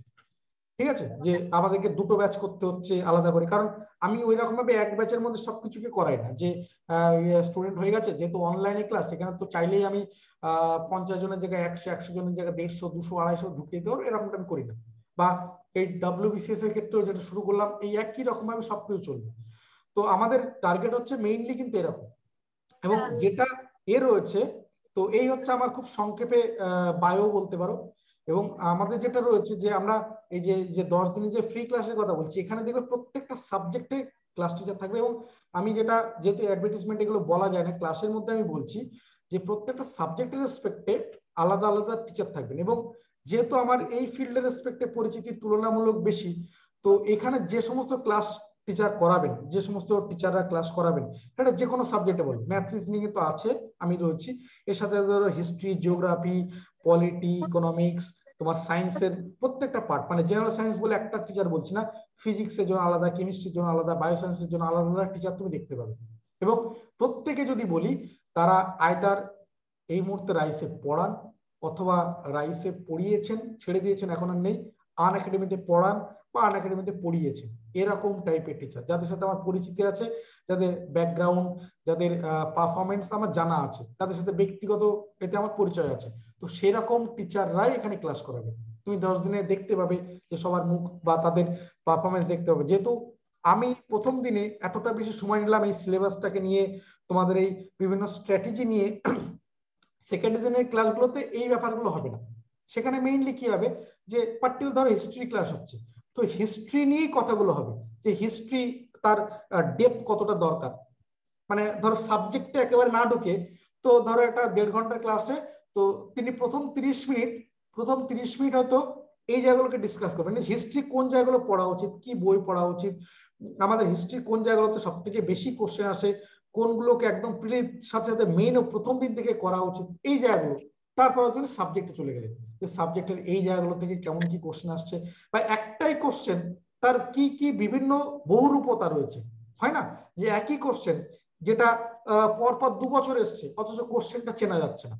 তুমি মনে তুমি যখন দেখছ, এই দুটো কোশ্চেন দু রকম কিন্তু টিচার তোমাকে দেখিয়ে দিচ্ছে, না, এই দুটো কোশ্চেন কিন্তু দু রকম নয়, একটাই কোশ্চেন শুধুমাত্র কিছুটা ঘুরিয়ে বা এর মধ্যে কিছু স্ট্র্যাটেজি ইউজ করে তোমায় কোশ্চেন দিয়েছে। তাই তুমি বলছো এটাকে দুটো কোশ্চেন আলাদা তো এই টাইপের এগুলোকে ডিসকাস করা হবে। যেহেতু আমাদের একটা দেড় ঘণ্টার ক্লাসে পুরোপুরি একটা সাবজেক্ট সবকিছু কভার করা যাবেও না, সম্ভবও না, হয়ও না, বা এটা করা উচিত না।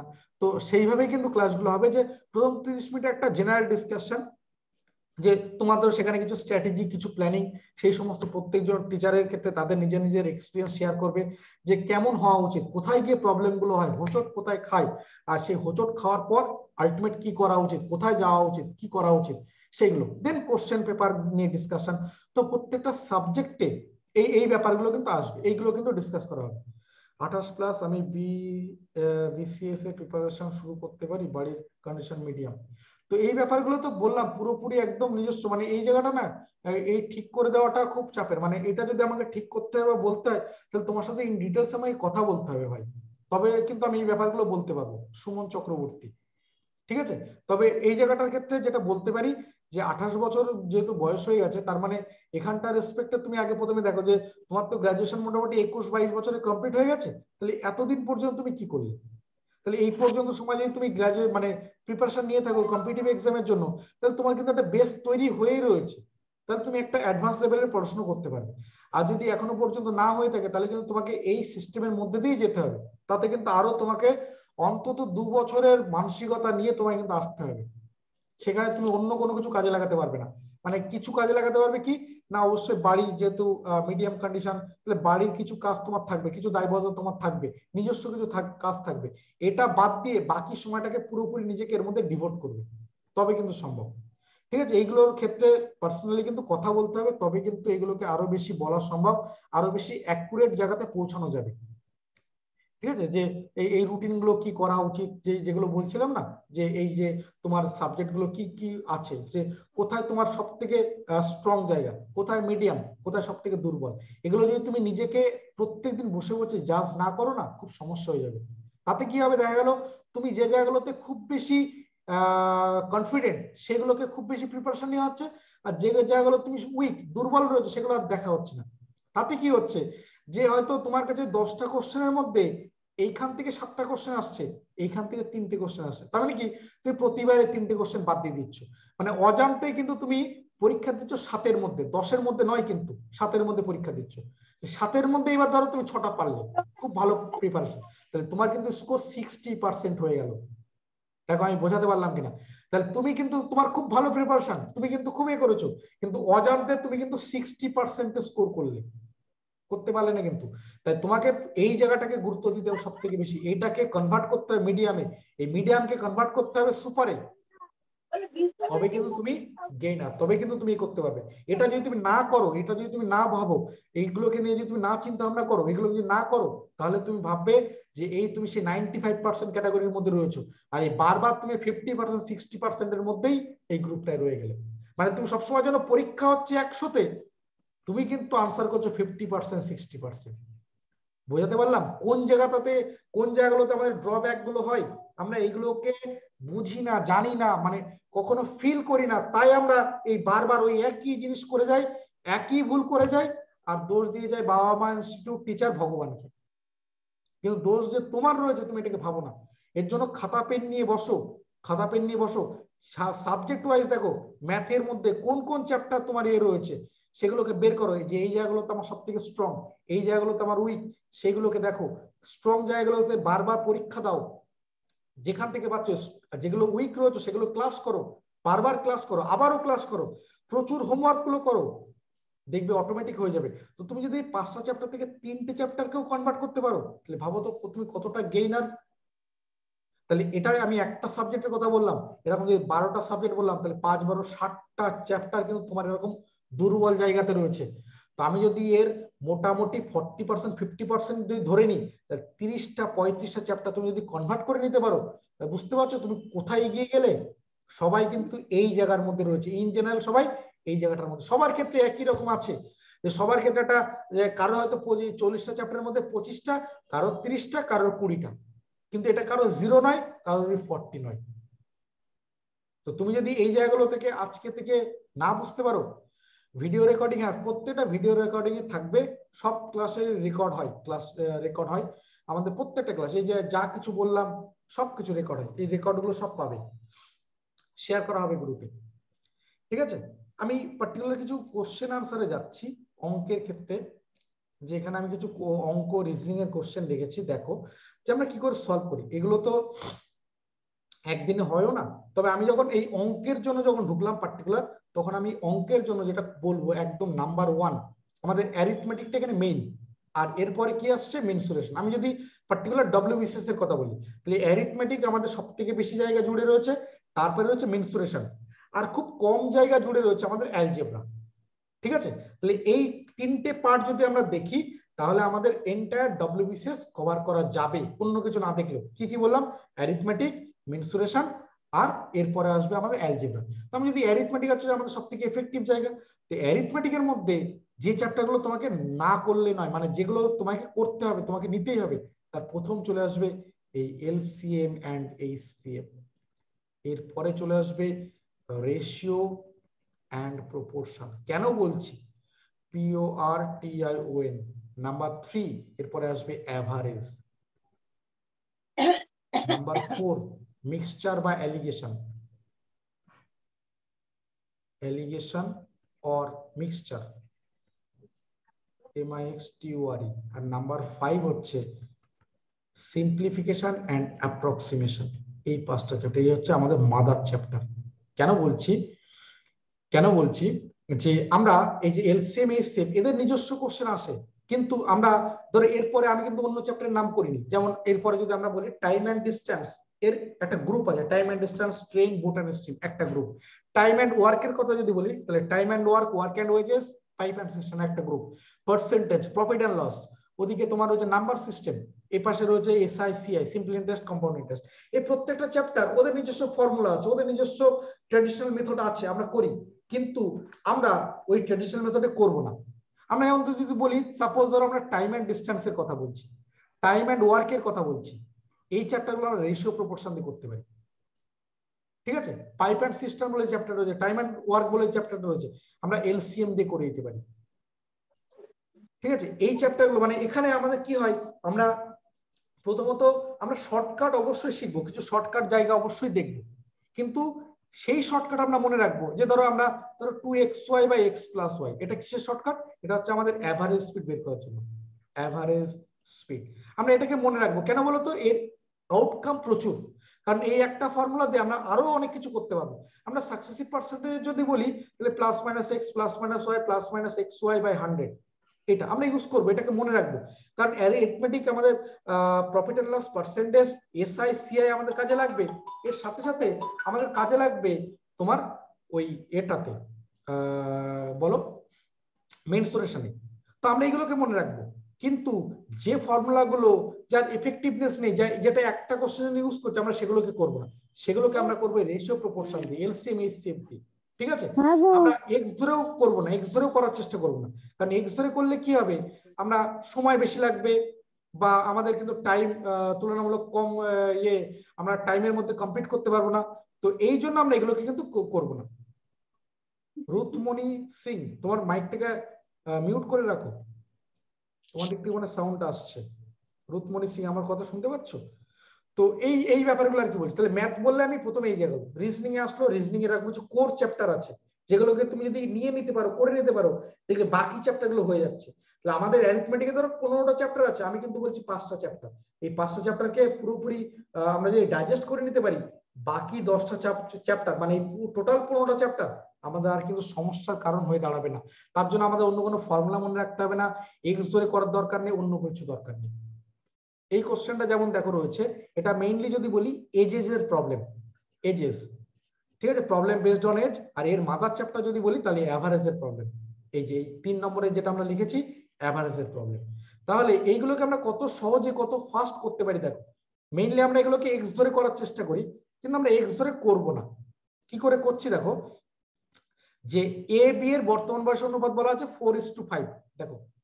এ এ ইস টু বি এদের বলা আছে ফোর ইস টু ফাইভ এটা হচ্ছে প্রেজেন্ট এজ প্রেজেন্ট এজ আর বলছে আঠারো বছর আগে মানে আমরা যদি বলি এইটিন ইয়ার্স এগো আমাদের কি রয়েছে? এগারো ইস টু ষোলো ইলেভেন ইস টু সিক্সটিন আমাদের সব ক্লাস ইংলিশ, বাংলা দুটোতে মিশিয়েই হবে। তাহলে এবার এই কনসেপ্টটা বোঝো যে কি বলতে চাইছি। ধরো ধরো ধরো তোমার আর আমার বয়সের পার্থক্য এই মুহূর্তে পাঁচ বছর। তোমার আর আমার বয়সের পার্থক্য পাঁচ বছর। আমি যদি জানতে চাই বলো তো আজ থেকে দশ বছর আগে তোমার আর আমার বয়সের পার্থক্য কত ছিল? একটু আনসার দাও তো আমাকে। কি বলবে? কেউ একটু? মানে আজকের দিনে দাঁড়িয়ে তোমার আর আমার বয়সের পার্থক্য পাঁচ বছর তাহলে আজ থেকে দশ বছর আগে তোমার আর আমার বয়সের পার্থক্য কত ছিল? স্যার পাঁচ বছরই ছিল। পাঁচ বছরই ছিল। আমি যদি বলি আজ থেকে কুড়ি বছর পর তোমার আর আমার বয়সের পার্থক্য কত হবে? পাঁচ বছরই হবে। পাঁচ বছরে আমরা এই কনসেপ্টটাই কাজে লাগাচ্ছি। দেখো কীভাবে? আমি তাহলে এরকম বলছি যে ধরো, যেহেতু এটা রেশিও রেশিও মানে হচ্ছে সবসময় একের সাপেক্ষে অপর নাম্বার হচ্ছে কো প্রাইম হয়। এবং একটা সাপেক্ষে আরেকটা হচ্ছে সবসময় যেন সব থেকে লিস্ট নাম্বার হয়। চারের সাপেক্ষে পাঁচ বা পাঁচের সাপেক্ষে চার, এরা কিন্তু লিস্ট নাম্বার এবং একে অপরের সাপেক্ষে রিলেশন হচ্ছে কো প্রাইম তা রেশিও কোনো এক্সাক্ট নাম্বার নয়। আমি ধরে নিচ্ছি যে এর বয়স এখন ধরো চার বছর আর বি এর বয়স পাঁচ বছর। আঠারো বছর আগে এটা ধরো এগারো ছিল, এটা ষোলো ছিল। তাহলে আমি যদি বলি, এখান থেকে ডিফারেন্স ধরো চার আর পাঁচের মধ্যে ডিফারেন্স কত? এক। আর এর মধ্যে ডিফারেন্স যদি দেখি, এগারো আর ষোলোর মধ্যে পাঁচ। তাহলে এই মাত্র বললাম, তোমার আমার বয়সের পার্থক্য পাঁচ বছর, তা দশ বছর আগেও পাঁচ থাকবে ছিল বা কুড়ি বছর পরেও পাঁচ থাকবে। কিন্তু এখানে দেখতে পাচ্ছি, এখানে ডিফারেন্স হচ্ছে এক, এখানে ডিফারেন্স হচ্ছে পাঁচ। তাহলে এই জায়গাটাকে আমাদের ঠিক করতে হবে। এই জায়গাটা ঠিক নেই। এটা ঠিক করব কি করে? এই পাঁচকে দিয়ে একে গুণ করছি। আর এই এককে দিয়ে একে গুণ করছি। করলে দেখো কি আসছে চার পাঁচে কুড়ি, পাঁচ পাঁচে পঁচিশ। আর এটা আমাদের যা আছে যেহেতু এক দিয়ে গুণ করছি, এগারো ইস টু ষোলো। যদি আমাদের এটা দুই পাঁচ হতো, তাহলে একে দুই দিয়ে গুণ করতাম, একে পাঁচ দিয়ে গুণ করতাম। ব্যাপারটা এরকম। একে যদি এক এক হচ্ছে আমাদের ডিফারেন্স তাই একটার আমাদের খুব একটা বোঝা যাচ্ছে না। এবার তুমি খেয়াল করে দেখো, কুড়ি পঁচিশ, পাঁচের ডিফারেন্স এগারো ষোলো, পাঁচের ডিফারেন্স মানে আমাদের এই জায়গাটা যেটা বলতে চাইছিলাম, যে কনসেপ্টটা বোঝাতে চাইছিলাম, সেটা দেখো ঠিকঠাক মিলে যাচ্ছে। তাহলে এইবার আমি জানতে চাইছি জানতে চাইছি কি এ বি এর বর্তমান বয়সের সমষ্টি কত? বর্তমান বয়স, আসছে এই ব্যাপারটা। তাহলে এই ব্যাপারটাকে এরকম ভাবে দেখো, কীভাবে? না, কুড়ি বছর হচ্ছে এর বর্তমান বয়স, আর এগারো বছর হচ্ছে এর আঠারো বছর আগের বয়স। তাহলে বলতো রেশিওতে এর বয়সের ডিফারেন্স কত? রেশিও হিসাবে? নয়। নয় বছরের, নয় বছর তাহলে রেশিওতে যেটা নয় অরিজিনাল সেটা কত? আঠেরো বছর। বোঝাতে পারলাম? দেখো তো এই কনসেপ্টটা সবার ক্লিয়ার হলো কিনা? এই জায়গাটা? যে আমি বলছি এর বর্তমান বয়স তাহলে কুড়ি বছর, আর এর আঠেরো বছর আগের বয়স হচ্ছে এগারো বছর। রেশিওতে বলছি। তাহলে রেশিওতে ডিফারেন্স কত? নয়। তাহলে নয় ইউনিট মানে আমি বলতে পারি আঠেরো বছর। তার মানে এক ইউনিট কত হবে? আঠেরো বাই নয়।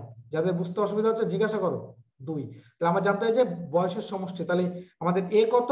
এ হচ্ছে যে কুড়ি বছর। এটা হচ্ছে আমাদের প্রেজেন্ট যেহেতু, তাহলে এ হচ্ছে কুড়ি। তাহলে এ ইকুয়াল টু আমরা বের করব, কুড়ি ইকুয়াল টু কত আসবে? কুড়ি গুণ দুই। চল্লিশ বছর। এ হচ্ছে আমাদের চল্লিশ বছর। আর বি কত?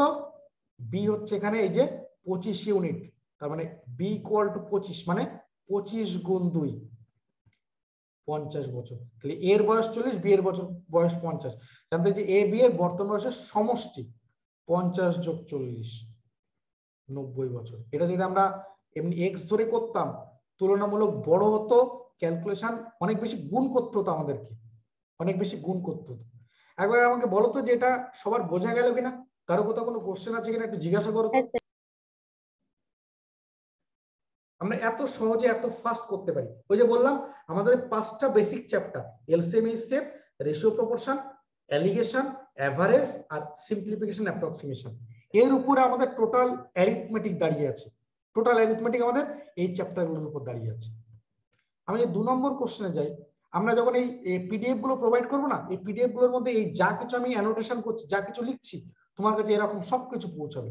এরকম ভাবে পৌঁছাবে তোমার কাছে। এটা তাহলে আমি হোমওয়ার্ক রেখে দিলাম। হোমওয়ার্ক রেখে দিলাম। যে ছ বছর আগে এই ওয়ার্ডগুলো আমাদের ইম্পর্টেন্ট কুণাল সাগলের অনুপাত ছিল এত চার বছর পর তাহলে বয়স অনুপাত এরকম ছিল। তো এখানে তোমাকে বুঝতে হবে দেখো প্রেজেন্ট বলা নেই। তাহলে ছ বছর আগে আর চার বছর পরের মধ্যে ডিফারেন্স কত বলো তো? দশ বছর। দশ বছর। এই কনসেপ্টটা যদি বুঝতে পারো তাহলে তোমার কিন্তু আনসার মিলে গেল। আমার জানতে যে সাগরের বর্তমান বয়স কত। তাহলে বর্তমান বয়স আমি কি করে পাবো? এই যে যে রেশিওটা পাচ্ছি এখান থেকে যখন আমি এক্সাক্ট ভ্যালু বের করতে পারব তার সাথে ছয় যোগ করলে আমি বর্তমানে পৌঁছাবো। অথবা এই যে যে রেশিওটা দেখতে পাচ্ছি এটা হচ্ছে চার বছর পরের বয়স এর থেকে যদি আমি চার বিয়োগ করি তাহলে আমি বর্তমানে পৌঁছাবো। কনসেপ্ট ক্লিয়ার হচ্ছে? স্যার আগে পরেটা একটু বলবেন স্যার? ওটা বুঝতে সমস্যা আগে বলতে দেখো ছ বছর আগে মানে কি? আমি যদি দু হাজার বাইশ সাল ধরে নিই বর্তমান তাহলে ছ বছর আগে মানে কি? দু হাজার বাইশ বিয়োগ ছয় তাই তো দু হাজার ষোলো বছর? তাহলে দু হাজার ষোলো সালে ধরো তাদের রেশিও ছিল এইটা। আর এটা বলছে চার বছর পর মানে দুহাজার বাইশ থেকে চার বছর দুহাজার ছাব্বিশ সালে তাদের বয়সের অনুপাত হবে এটা এবার কি ক্লিয়ার হচ্ছে? দেখো আমি দু আরেকবার বলুন। হচ্ছে আমাদের বর্তমান। তাহলে আমাদের ছয় ইস টু পাঁচ এটা কি বলা আছে?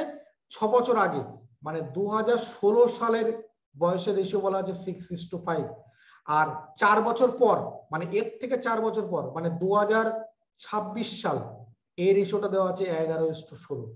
তুমি দেখো, একটু আগে বলে দশ বছরের ডিফারেন্স দেখো দশ বছর। ষোলো আর ছাব্বিশ, দশ বছরের ডিফারেন্স এই কনসেপ্টগুলো বুঝতে পারলে তুমি আনসার করতে পারবে। আমি কি একটা হোমওয়ার্ক রেখে দেবো? যদি আমরা ম্যাথের চ্যাপ্টার এরপর আসব আবারও আবারও আসব। কারণ আমি আজকে অনেক বেশি স্ট্র্যাটেজি ওই জায়গাগুলো নিয়ে ইয়ে করেছি। ম্যাথ এবং রিজনিং এ আমি আলাদা একটা ক্লাস নিয়ে আসব। এই একটা কোশ্চেন দেখো, কি করে করা যেতে পারে? বলছে একশো পঞ্চাশ গ্রাম চিনি দ্রবণে কুড়ি পার্সেন্ট চিনি আছে। ওই দ্রবণে আর কত কিলোগ্রাম চিনি মিশ্রিত করলে চিনির পরিমাণ মোট মিশ্রণের টোয়েন্টি ফাইভ পার্সেন্ট হবে? আর তোমাদের কাছে একটা রিকোয়েস্ট থাকল যে আজকে গ্রুপে সবাই একটু জানাবে যে ক্লাসগুলো কেমন লাগল বা মানে ধরো এই কারণে বলছি, ধরো যে আমরা এখানে ম্যাক্সিমাম দেখেছিলাম পঞ্চাশ জন জয়েন করেছিল।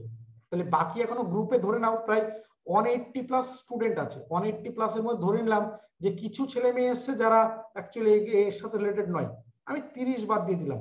তাহলে একশো পঞ্চাশ জন স্টুডেন্ট একশো পঞ্চাশ জনে পঞ্চাশ জন এখানে এসেছিল। মানে একশো জন তো আসেনি। একশো জন আসেনি। তো এই একশো জন স্টুডেন্ট যাতে তোমাদের থেকে জানতে পারে, এটা তোমরা একটু বলবে যে তুমি ট্রু ফিডব্যাক দেবে যে হ্যাঁ তোমার কেমন লেগেছে? কি কোথায় ভালো লেগেছে? কতটুকু ভালো লেগেছে? কি রয়েছে? এই ফিডব্যাকটা তোমরা একটু গ্রুপে জানাবে। এখানে নয় গ্রুপে জানাবে। আর আমি একটা ফেসবুক পেজের লিংক শেয়ার করে দেবো। ওখানেও দেখবে অ্যাক্টিভ থাকলে তুমি ওখান থেকে অনেক কিছু পাচ্ছ। আমি অলরেডি একটা টেলিগ্রাম গ্রুপের লিংক শেয়ার করে দিয়েছি তোমাদের কাছে। ওখান থেকে আশা করি তুমি রেগুলার বেসে কোশ্চেন পাচ্ছ, দেখতে পাচ্ছ। রেগুলার নতুন নতুন কোশ্চেন আসে, যে তুমি প্র্যাকটিসের মধ্যে থাকতে পারবে। ঠিক আছে? আমি তোমাকে আর একটা লিংক শেয়ার করে দেবো, যেখানে রেগুলার এই অনলাইন মক টেস্ট দিতে পারবে তুমি। রেগুলার প্রচুর মক টেস্ট মানে আনলিমিটেড মক টেস্ট ওখানে সেট করা আছে। টাইমারের সাহায্যে তুমি দিতে পারবে। মানে যখন তুমি ওখানে পরীক্ষা দেবে তোমার ওখানে টাইম কাউন্ট হচ্ছে। এবং টাইম শেষ হয়ে যাওয়ার পর তুমি র্যাঙ্ক দেখতে পারবে। তোমার কটা ঠিক হলো কটা ভুল হলো। তারপর তোমাকে দেখিয়ে দেবে কোন কোশ্চেন হলো কোনটা রাইট আনসার কোনটা রং আনসার এবং আলটিমেট তুমি ধরো ওখানে দশজন পরীক্ষা দিয়েছে এখন দশজনের মধ্যে তুমি কোথায় দাঁড়িয়ে আছো? তোমার টাইমের রেসপেক্টে তোমার পার্সেন্টেজ কেমন? ওভারঅল পার্সেন্টেজ কেমন? এগুলো সব তুমি দেখতে পারবে। আমি এগুলো সব শেয়ার করে দেবো। এটা তোমরা কিন্তু গ্রুপে ফিডব্যাক দিও। তাহলে এটা কি বলছি দেখো? থেকে স্যার জুমের থেকে না গুগল মিটে ক্লাসটা করালে স্যার ভালো হয়। প্রচুর নেটওয়ার্কের স্যার সমস্যা হচ্ছে এটাই। দেখো এটা তো ইয়ে রয়েছে মানে আমাদের যেমন কি হয় জুমে ক্লাসগুলো বেশি আগে যদি গুগল মিট হতো তবে জুমও আসবে গুগল মিটও হবে। ঠিক আছে যেহেতু নাম্বার অফ ক্লাস বেড়ে যাচ্ছে আমরা নাহলে এগুলোকে কভার করতে পারব না। এটা দেখো কীভাবে করছে দেখো একশো পঞ্চাশ গ্রাম চিনি দ্রবণে টোয়েন্টি পার্সেন্ট চিনি আছে। ওই দ্রবণে আরও কত কিলোগ্রাম চিনি মিশ্রিত করলে চিনির পরিমাণ মোট মিশ্রণের পঁচিশ পার্সেন্ট হবে? এটা এক্স দিয়ে করলে এই পুরো জায়গাটা আমাদের লেগে যাবে সলভ করতে। কীভাবে করছি দেখো? বলছে চিনি দ্রবণে। তাহলে দ্রবণ মানে চিনি আর জল রয়েছে ধরো।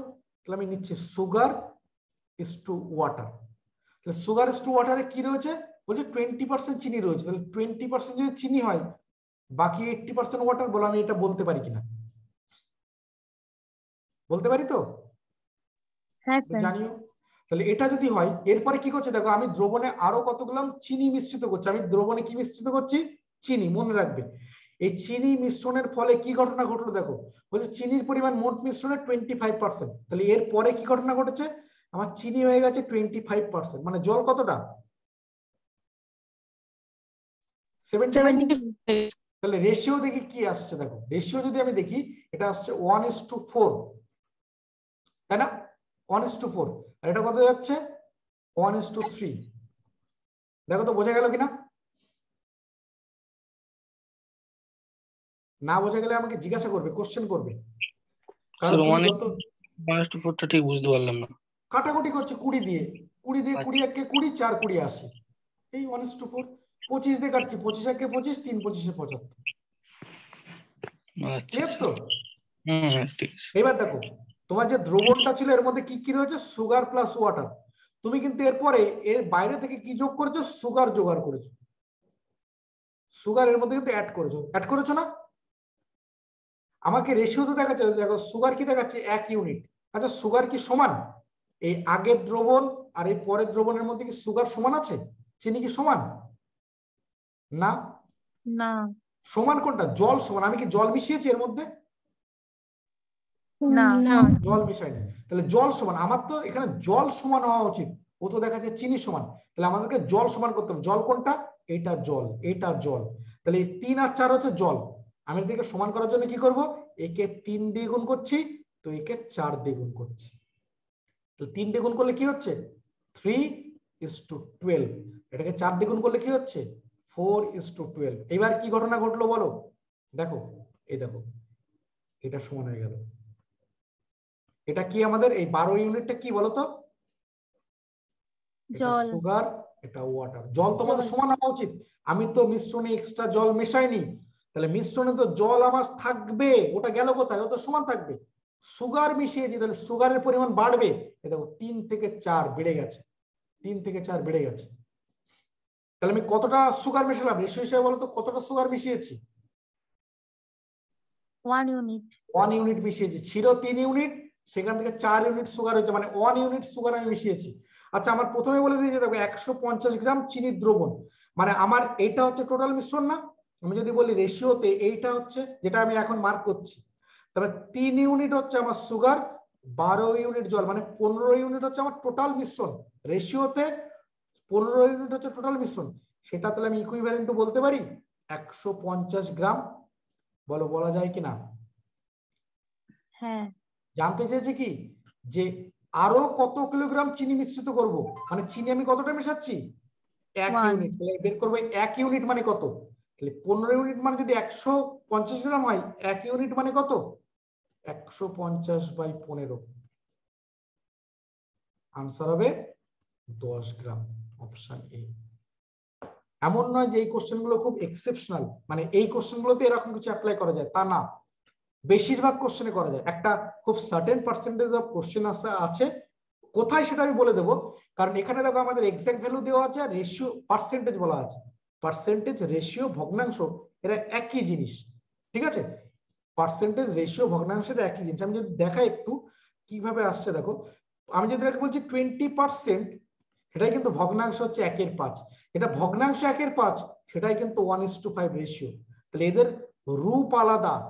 কাজ কিন্তু এরা একই জিনিস করে। দেখো, এটাকে বলি আমরা পার্সেন্টেজ এটাকে বলি ভগ্নাংশ, এটাকে বলি রেশিও তুমি তিনটে আলাদা আলাদা চ্যাপ্টার জানো, কিন্তু এরা কিন্তু আদতেও একটাই চ্যাপ্টার রূপ আলাদা, তাই আমরা এদেরকে বলছি চ্যাপ্টার আলাদা। বুঝতে পারছ কি বললাম? আমি এখানে বেশ কিছু কোশ্চেন রাখা আছে মানে সম্ভবত বারোটা কোশ্চেন রাখা আছে, আমি আর এগোতে পারলাম না। আমি পরবর্তী দিনে এগুলোকে করব। পরবর্তী দিনে এগুলোকে করব। এগুলোকে সব সব একদম মানে এক লাইনে আনসার বের করা যায়। এমন নয় যে এগুলো শুধু এই টাইপের কোশ্চেনই করা যায়। এই ডাব্লিউবিপিএসসি এর আন্ডারে গড় গতিবেগের কোশ্চেন ওদের খুব ইন্টারেস্টিং জায়গা। মানে একটা কোশ্চেন থাকে, আশা করা যায়। গড় গতিবেগের কোশ্চেনে খুব থাকে। দশ, এগুলো এগুলো খুব সোজা কোশ্চেন মানে খুব ট্রিক্স দিয়ে আনসার বের করা যায়। ট্রিক্স দিয়ে আনসার বের করা যায়। তো আমি আর এগোচ্ছি না ক্লাসটা প্রায় দু ঘণ্টা হয়ে গেল, কারণ নটা থেকে আমার আরও একটা ক্লাস আছে। আমাদের এক্সিস্টিং ব্যাচের ক্লাস আছে তোমার পুলিশ এসএলএসটি ব্যাচের ক্লাস রয়েছে। তো ওই ক্লাসটাতে আমাদের ঢুকতে হবে। ওই জন্য আমি এই ক্লাসটাকে এইখানে রাখব। তার আগে আমি জাস্ট কটা কথা বলতে চাই। যে এক নম্বর, তোমরা একটু গ্রুপে কিন্তু তোমাদের ফিডব্যাকটা জানাবে। এখানে দরকার নেই গ্রুপে সবাই সবাই একটু ফিডব্যাকটা জানাবে। দু নম্বর, আমি একটা ফেসবুক গ্রুপের লিংক শেয়ার করে দিচ্ছি ফেসবুক পেজ এখান থেকে তোমরা প্রচুর ইনফরমেশন পাবে। তিন নম্বর, আমি একটা টেলিগ্রাম গ্রুপের লিংক শেয়ার করে দিয়েছি। এটা অলরেডি তোমরা যদি জয়েন করে দাও বা যারা জয়েন করে গেছো, এখানে যদি কেউ থেকে থাকো, তাহলে তারা সে জানো যে ওখানে রেগুলার কোশ্চেন আসে। রেগুলার কারণ আমাদের এগুলো কিন্তু কমার্শিয়াল এ নয়, যে ওখানে অ্যাড করা হয়, অন্য কেউ অ্যাড করতে আসে, তা নয়। সবগুলো আমার নিজস্ব, তাই ওখানে কোনো কিছু অ্যাডভার্টাইজমেন্ট হয় না। আর চার নম্বর যেটা বলছি, যে আমি একটা ওয়েবসাইটের লিঙ্ক তোমাদেরকে দিয়ে দেবো, যেখানে রেগুলার বেসিসে তুমি পরীক্ষা দিতে পারবে। ঠিক আছে? এরপর একটা কথা আমি জানিয়ে রাখি জাস্ট একদম লাস্টে এসে আমি একটা একটা কথা জানিয়ে রাখি, যে আমাদের যেটা বলেছিলাম, আমি একুশ তারিখ থেকে ক্লাস শুরু করব, আমাদের দশ দিন চলবে মানে তিরিশ তারিখ পর্যন্ত চলবে। একুশ তারিখ থেকে তিরিশ তারিখ পর্যন্ত চলবে, ঠিক আছে?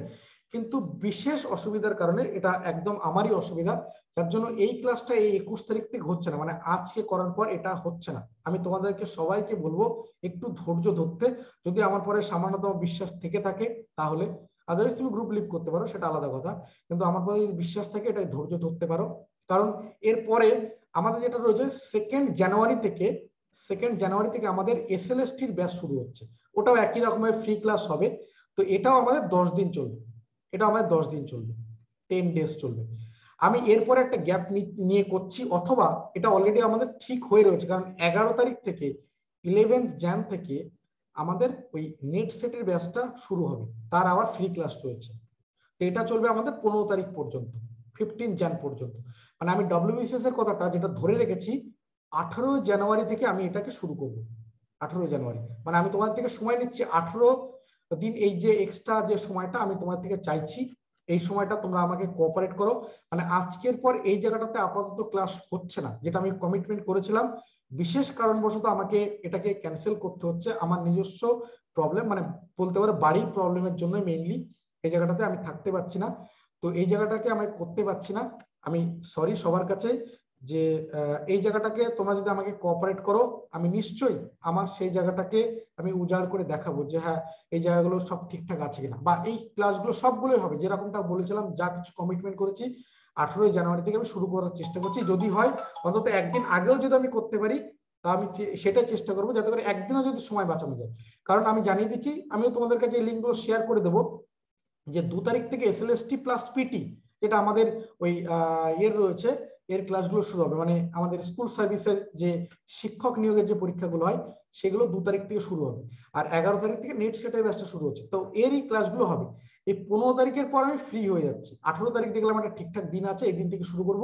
যদি সম্ভব হয় আমি সতেরো তারিখ বা ষোলো তারিখ থেকে যদি পারি, আমি শুরু করব। যদি একদিন, দুদিনও যদি বাঁচানো যায়। হয়তো এর আগে আর হবে না। আমি সবাইকে বলছি, আমাকে এই এতটুকু পর্যন্ত তোমরা অ্যালাউ করো। আমি বিশ্বাস রাখি যে আমি তোমাদেরকে সেরকম একটা ডেস্টিনেশন দেখাতে পারব, একটা কিছু রোড ম্যাপ যেরকমটা আমি তোমাদেরকে বলেছিলাম, যে সেটা আমি তোমাদেরকে দেখাতে পারব, একটা দিশা দেখাতে পারব, যে যেটার উপর বেস করে তোমরা আগামী দিনে কিছু একটা ডিসিশন নিতে পারবে। যে হ্যাঁ তোমার কি করা উচিত, তোমার কি করা উচিত না, তোমার কোন দিকে যাওয়া উচিত, কীভাবে প্ল্যানিং করা উচিত, এই পুরো ব্যাপারটাকে আমি ডিসকাস করব, এগুলোকে আমি বলব। এবং এই মাঝে মাঝে আমি ক্লাসে এসে এগুলোকে নিয়ে ডিসকাস করব, বলব এগুলো।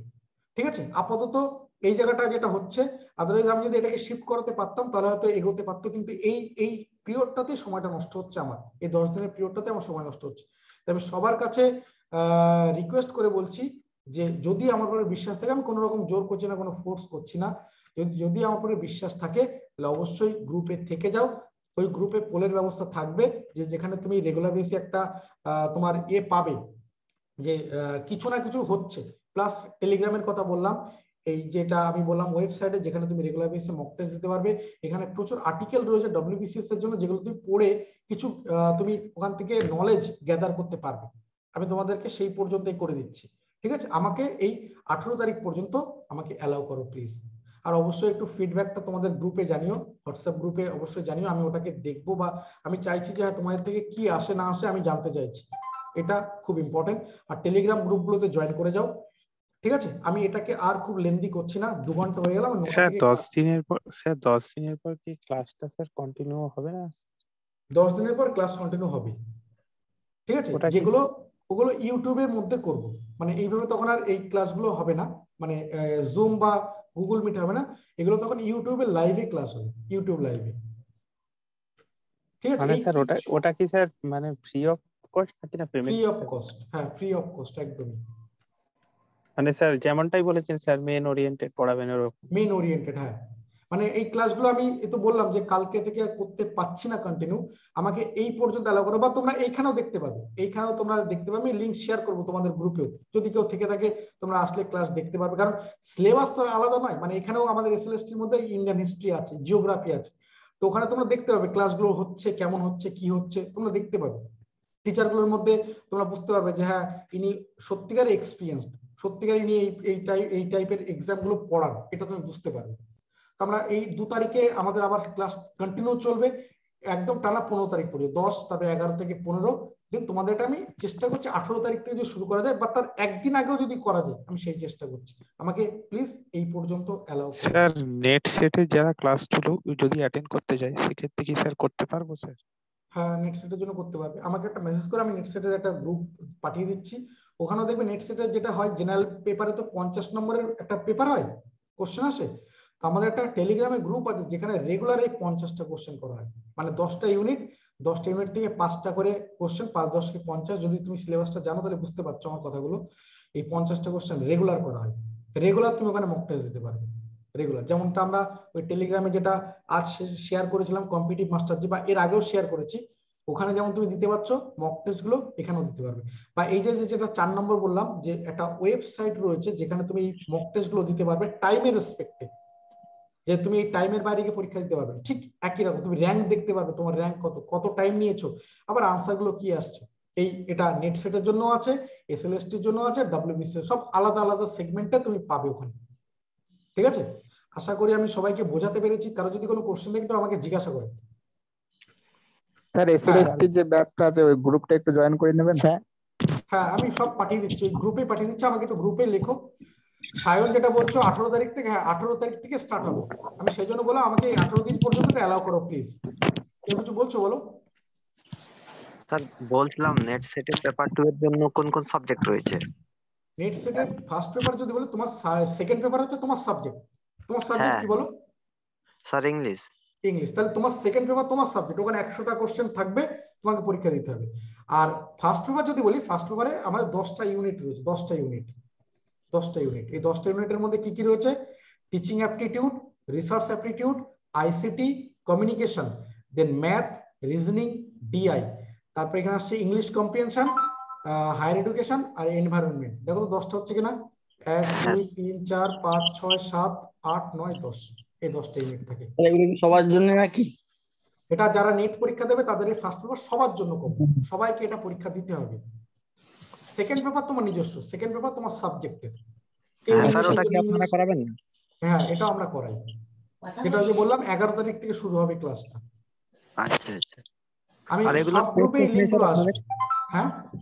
স্যার বলছিলাম নেট সেটের পেড কোর্স নেই আপনাদের? হ্যাঁ সবকিছুই আছে। আচ্ছা সবকিছুর জন্য পেইড কোর্স আছে। দেখো একটা কথা বলি যে এই যা কিছু দেখছ বা বলছো সেগুলোর ক্ষেত্রে সবকিছু এরকম পেইড কোর্স আছে। এবং সেগুলো আমরা খুব মিনিমাম কোর্স ফিতে করাই।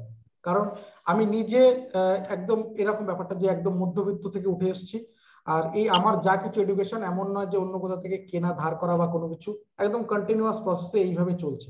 তো আমি এই ব্যাপারগুলো জানি। মানে এই সেম ব্যাচগুলো যে তুমি নেটের কথা বলছো এই সেম ব্যাচগুলো বা সেম পড়াশোনার জন্য কোথাও কোথাও আট দশ হাজার টাকা পর্যন্ত নিচ্ছে। তো তুমি আট দশ হাজার টাকায় আমাদের তো ছ মাসের কোর্স এক একটা কোর্স ছ মাসের হয়। তো ছ মাসের কোর্সে যদি তুমি ভর্তি হও তাহলে তুমি আট দশ হাজার টাকা তুমি আমাদের কাছে দু বছর ক্লাস করতে পারবে। মানে চারটে সেমিস্টার ছ মাস যদি ধরি তাহলে ছ মাস মানে বছরে দুটো তা দু বছরে চারবার মানে চারবার তুমি আমার কাছে ক্লাস করতে পারবে। আশা করি তুমি বুঝতে পারছ। তো হ্যাঁ, আশা এসএলএসটি যে ক্লাসগুলো হবে ওর কি কোনো পেড ব্যাচ আছে? সব শুরু হয়ে গেছে আছে। কি হবে? হ্যাঁ সবকিছুই আছে। আগে আমরা সবসময় আমি পেড বেসের কথা একদমই বলি না। আমি সবসময় বলছি আগে ফ্রি ক্লাসগুলো করো। ফ্রি ক্লাস করো তুমি দেখো। পার্থক্য বুঝতে পারছ কিনা? ক্লাসের কোয়ালিটি বুঝতে পারছ। তারপর তুমি আমার সাথে এই নিয়ে কথা বলবে। স্যার ঠিক আছে। স্যার লিঙ্ক গ্রুপে লিঙ্কটা স্যার পাঠিয়ে দেবেন। হ্যাঁ। স্যার ইউপিএসসির জন্য কি কোনো ক্লাস আছে? ইউপিএসসি না পার্টিকুলার ইউপিএসসি এর জন্য কোনো কিছু নেই। কিন্তু বাকিগুলো যেগুলো রয়েছে বললাম রেলের জন্য আছে পুলিশের জন্য আছে ডাব্লিউবিসিএস তো বললাম। তোমার এসএসসি স্টাফ সিলেকশন কমিশনের জন্য আছে নার্সিং এর জন্য আছে কিন্তু ইউপিএসসি এখনও কোনো কিছু নেই আমাদের। স্যার আপনার সাথে কথা কখন বলা যেতে পারে? এখন মানে তো হবে না ধরো আমি তো সাড়ে সাড়ে দশটা শেষ হবে এটা। ওকে স্যার মানে হয়ে তুমি কালকে বৃহস্পতিবার হ্যাঁ তুমি আমাকে কালকে সাড়ে দশটার পর কল করতে পারো। সাড়ে দশটা পর্যন্ত ক্লাস আছে সাড়ে ওকে ওকে কল করতে পারো। Okay okay sir okay okay thank you আর কেউ যদি কারোর কোথাও কোনো কোশ্চেন থাকে জিজ্ঞাসা করতে পারো বলতে পারো। আদারওয়াইজ এটা রাখব। তবে অবশ্যই এটা সবার কাছে আমার রিকোয়েস্ট যে হোয়াটসঅ্যাপ গ্রুপে তোমাদের একটু ফিডব্যাকটা অবশ্যই শেয়ার করো। প্লিজ সবাই একটু ফিডব্যাকটা শেয়ার করো। কারণ এটা ভালো লাগে। এটা তো সবাই বোঝো যে সবার ক্ষেত্রে এই এই ব্যাপারটা সবাই চায় যে হ্যাঁ কি হলো, না হলো, অন্তত আমি নিজেকেও বুঝতে পারব। আমারও তো এন্ড অফ দ্য ডে আমার তো জাজমেন্টের দরকার আছে। তোমাদেরকে যেমন বলছি যে তোমরা এখানে জাজমেন্ট করো, তুমি আজকের, তুমি আর আগামীকালকে তুমির মধ্যে পার্থক্য আছে কিনা, তো আমিও এটা রেগুলার করি। আমি ওটা রেগুলার করি। তো সেটা আমি আর কি আমি নিজেকে এইভাবে মেজার করি। এখান থেকে আমি এই ডেটাগুলো নিয়ে মেজার করি। তো অবশ্যই তোমরা একটু শেয়ার করো। আমি বাকি সবকিছু ওখানে শেয়ার করে দেবো। আঠারো তারিখ থেকে এই ব্যাচটা কন্টিনিউ আবারও হবে। যেরকমটা তোমাদেরকে বলছি, ঠিক সেরকমটাই হবে। সবাই সাথে থেকো। আমি আশা করছি যে তোমাদের একটা সঠিক আমি দিশা দেখাতে পারব। আমি এই পর্যন্ত রাখলাম। সবাই খুব ভালো থেকো। সাবধানে থেকো অ্যান্ড সুস্থ থেকো। লিংক এই এই মানে এই যে যে রেকর্ডিং ভিডিওটা হলো এই- রেকর্ডিং ভিডিওর লিঙ্ক আমি তোমাদেরকে শেয়ার করে দেবো। সাথে সাথে এই পিডিএফটাও আমি শেয়ার করে দিচ্ছি তোমাদের কাছে থাকবে। এই পিডিএফটার বাকি কোশ্চেনগুলো আমি এরপরে ওই যে বললাম যে আঠারো তারিখ থেকে শুরু করছি সেখানে আমি শেয়ার করে দেবো। আমি আশা করি তোমাদের এই কোঅপারেশন আমার সঙ্গে থাকবে। থ্যাংক ইউ সবাইকে। এসএলএসটির ব্যাচটার একটু ডিটেলসটা দিয়ে দেবেন। হ্যাঁ আমি দিয়ে দেবো দিয়ে দেবো। গ্রুপে তো তোমরা মেসেজ করতে পারো একটু বলে দিও হ্যাঁ। আমি হয়তো সাড়ে দশটা পর্যন্ত হবে না সাড়ে দশটার পর আমি যা কিছু করছি। ওকে থ্যাংক ইউ ঠিক ঠিক ঠিক। Thank you